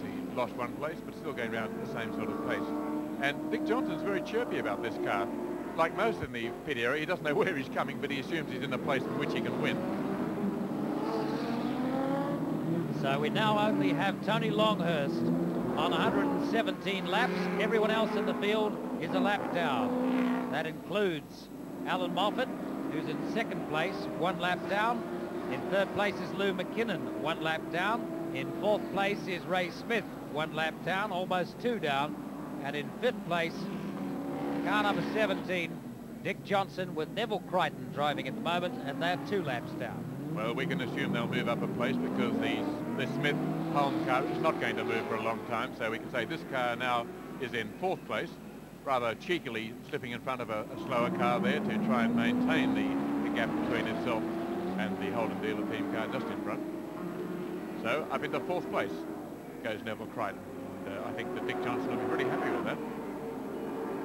Still a long way to go in this Nissan Mobil road race. Better than the 1600 to 2.5 litre cars in most uh, circumstances and certainly on this little circuit. It's a four valve per cylinder motor, 1600cc twin cam, the same as goes in the little Corolla hatchback Sprinter. Really have made amazing advancements. It seems to be a very reliable car. It handles beautifully, stops very well. And the one that uh, Paul Adams and his father-in-law Alan Wolf are driving, the number 41 car in similar colours to this, in the same Toyota team, uh, is also used for Group A rallying. So a very versatile car in its use as well. It's very much the sort of car that I think Toyota are going to build more and more in the future, Tony. I was at the Toyota factory in Japan a year or so ago, and they told me there that they preferred to go this way with four valves per cylinder and double overhead cams than with turbocharging. Whereas some of the other Japanese manufacturers, Nissan, Mitsubishi and so on, will turbocharge. Toyota favour the multiple use of valves, and we've got a good example of it here in this car of Paul Adams. There are nine of the little Toyotas in the race, which makes them the, second most popular entry. There were 10 Commodores entered, and then nine small Toyotas. And then if you go through the numbers, you find five of the BMW 635s, uh, four of the Ford Escort RS 1600s, which are contesting the small car class with the little Toyotas. And then a mixture of sort of small numbers. There were two Volvo Turbos and two Rover Vitesses, two Mustang GTs. You had two Fiat Ritmo 130 TCs, and then single entries of the Jaguar, the Sierra XR4 Ti, and they're both out of the race. The one Capri 3 litre, one Mazda RX-7, one Nissan Bluebird, which is still out there, and one Alfa Romeo, which became a three-wheeler for a while, but has now got its fourth wheel back in place. So that was the, the field, and nine of these little Toyotas taking part, dominating the small car class, both in numbers and in the way they're going round. And this little Toyota you're looking at now, car 41 with Paul Adams at the wheel, is seven laps down on the race leader Tony Longhurst, but still in eighth place overall. Now bear in mind that Paul Adams brought one of these cars in very similar trim to fifth place overall in last year's Nissan Mobil Road Race. They're obviously a lot more maneuverable around a tight little circuit like this than some of the bigger cars. They're lacking a little in the horsepower, but their acceleration figures are very good. Being a light car, it means that they can brake, brake a lot later than the bigger cars. Paul Adams, a very experienced driver, both on circuits and in rallies, and certainly knows how to get the best performance out of one of these vehicles. One of the things he likes about it, he tells us, is that you don't have to do too much uh, tweaking and tuning because it's a little black computer box and either it's right or it's not and it's a plus or minus job in terms of tuning of about plus or minus 9%. for so all Paul you need is a, a screwdriver to tweak it. Paul Adams, of course, assisted in the driving role by his father-in-law, Alan Wolf, a tremendous peddler. He's been around for more years than we care to remember, and a very competitive man. Mainly does it for the enjoyment of motorsport, but very, very successful at doing it too. Actually marking 30 years in saloon car driving this year. Alan Wolf. I was going to say, and all the uh, mother-in-law jokes, we'll have to start some new ones now in view of this sort of relationship. I've never heard of a fellow racing with his father-in-law. I've heard of him racing away from his father-in-law, but never, never sharing the wheel. No, Alan Wolf, in fact, says the biggest problem he has in this car is that Paul is so much taller than he is that when he gets in the car, he can hardly see over the dashboard. But a very good peddler who, as we say, has been around for 30 years in saloon car driving. And he takes up the co-drive. Paul Adams in the car at the moment. Meanwhile, our race leader is Tony Longhurst in car 31, the BMW 635 CSI, which he's co-driving with Christchurch's Trevor Crowe.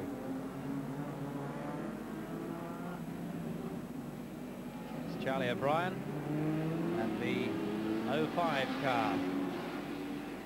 Allan Moffat.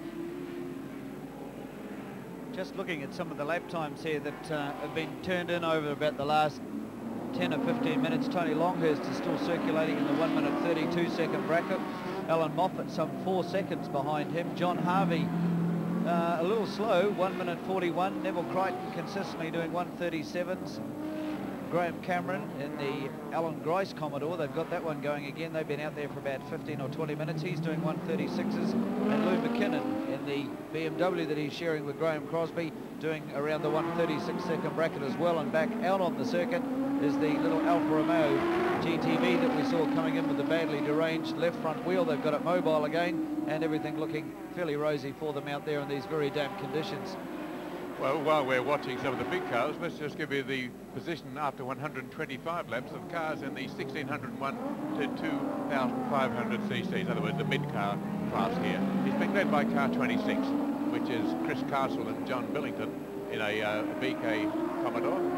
Uh, car 33 is um, Chris Heyer from Australia and um, Ed Lamont in a uh, Fiat 130 Abarth. No, John Billington, I'm getting my, my lines mixed up. It's the Fiat Abarth in second spot. And in third place, car 25, which uh, confuses me because I can't find it on the list of starters.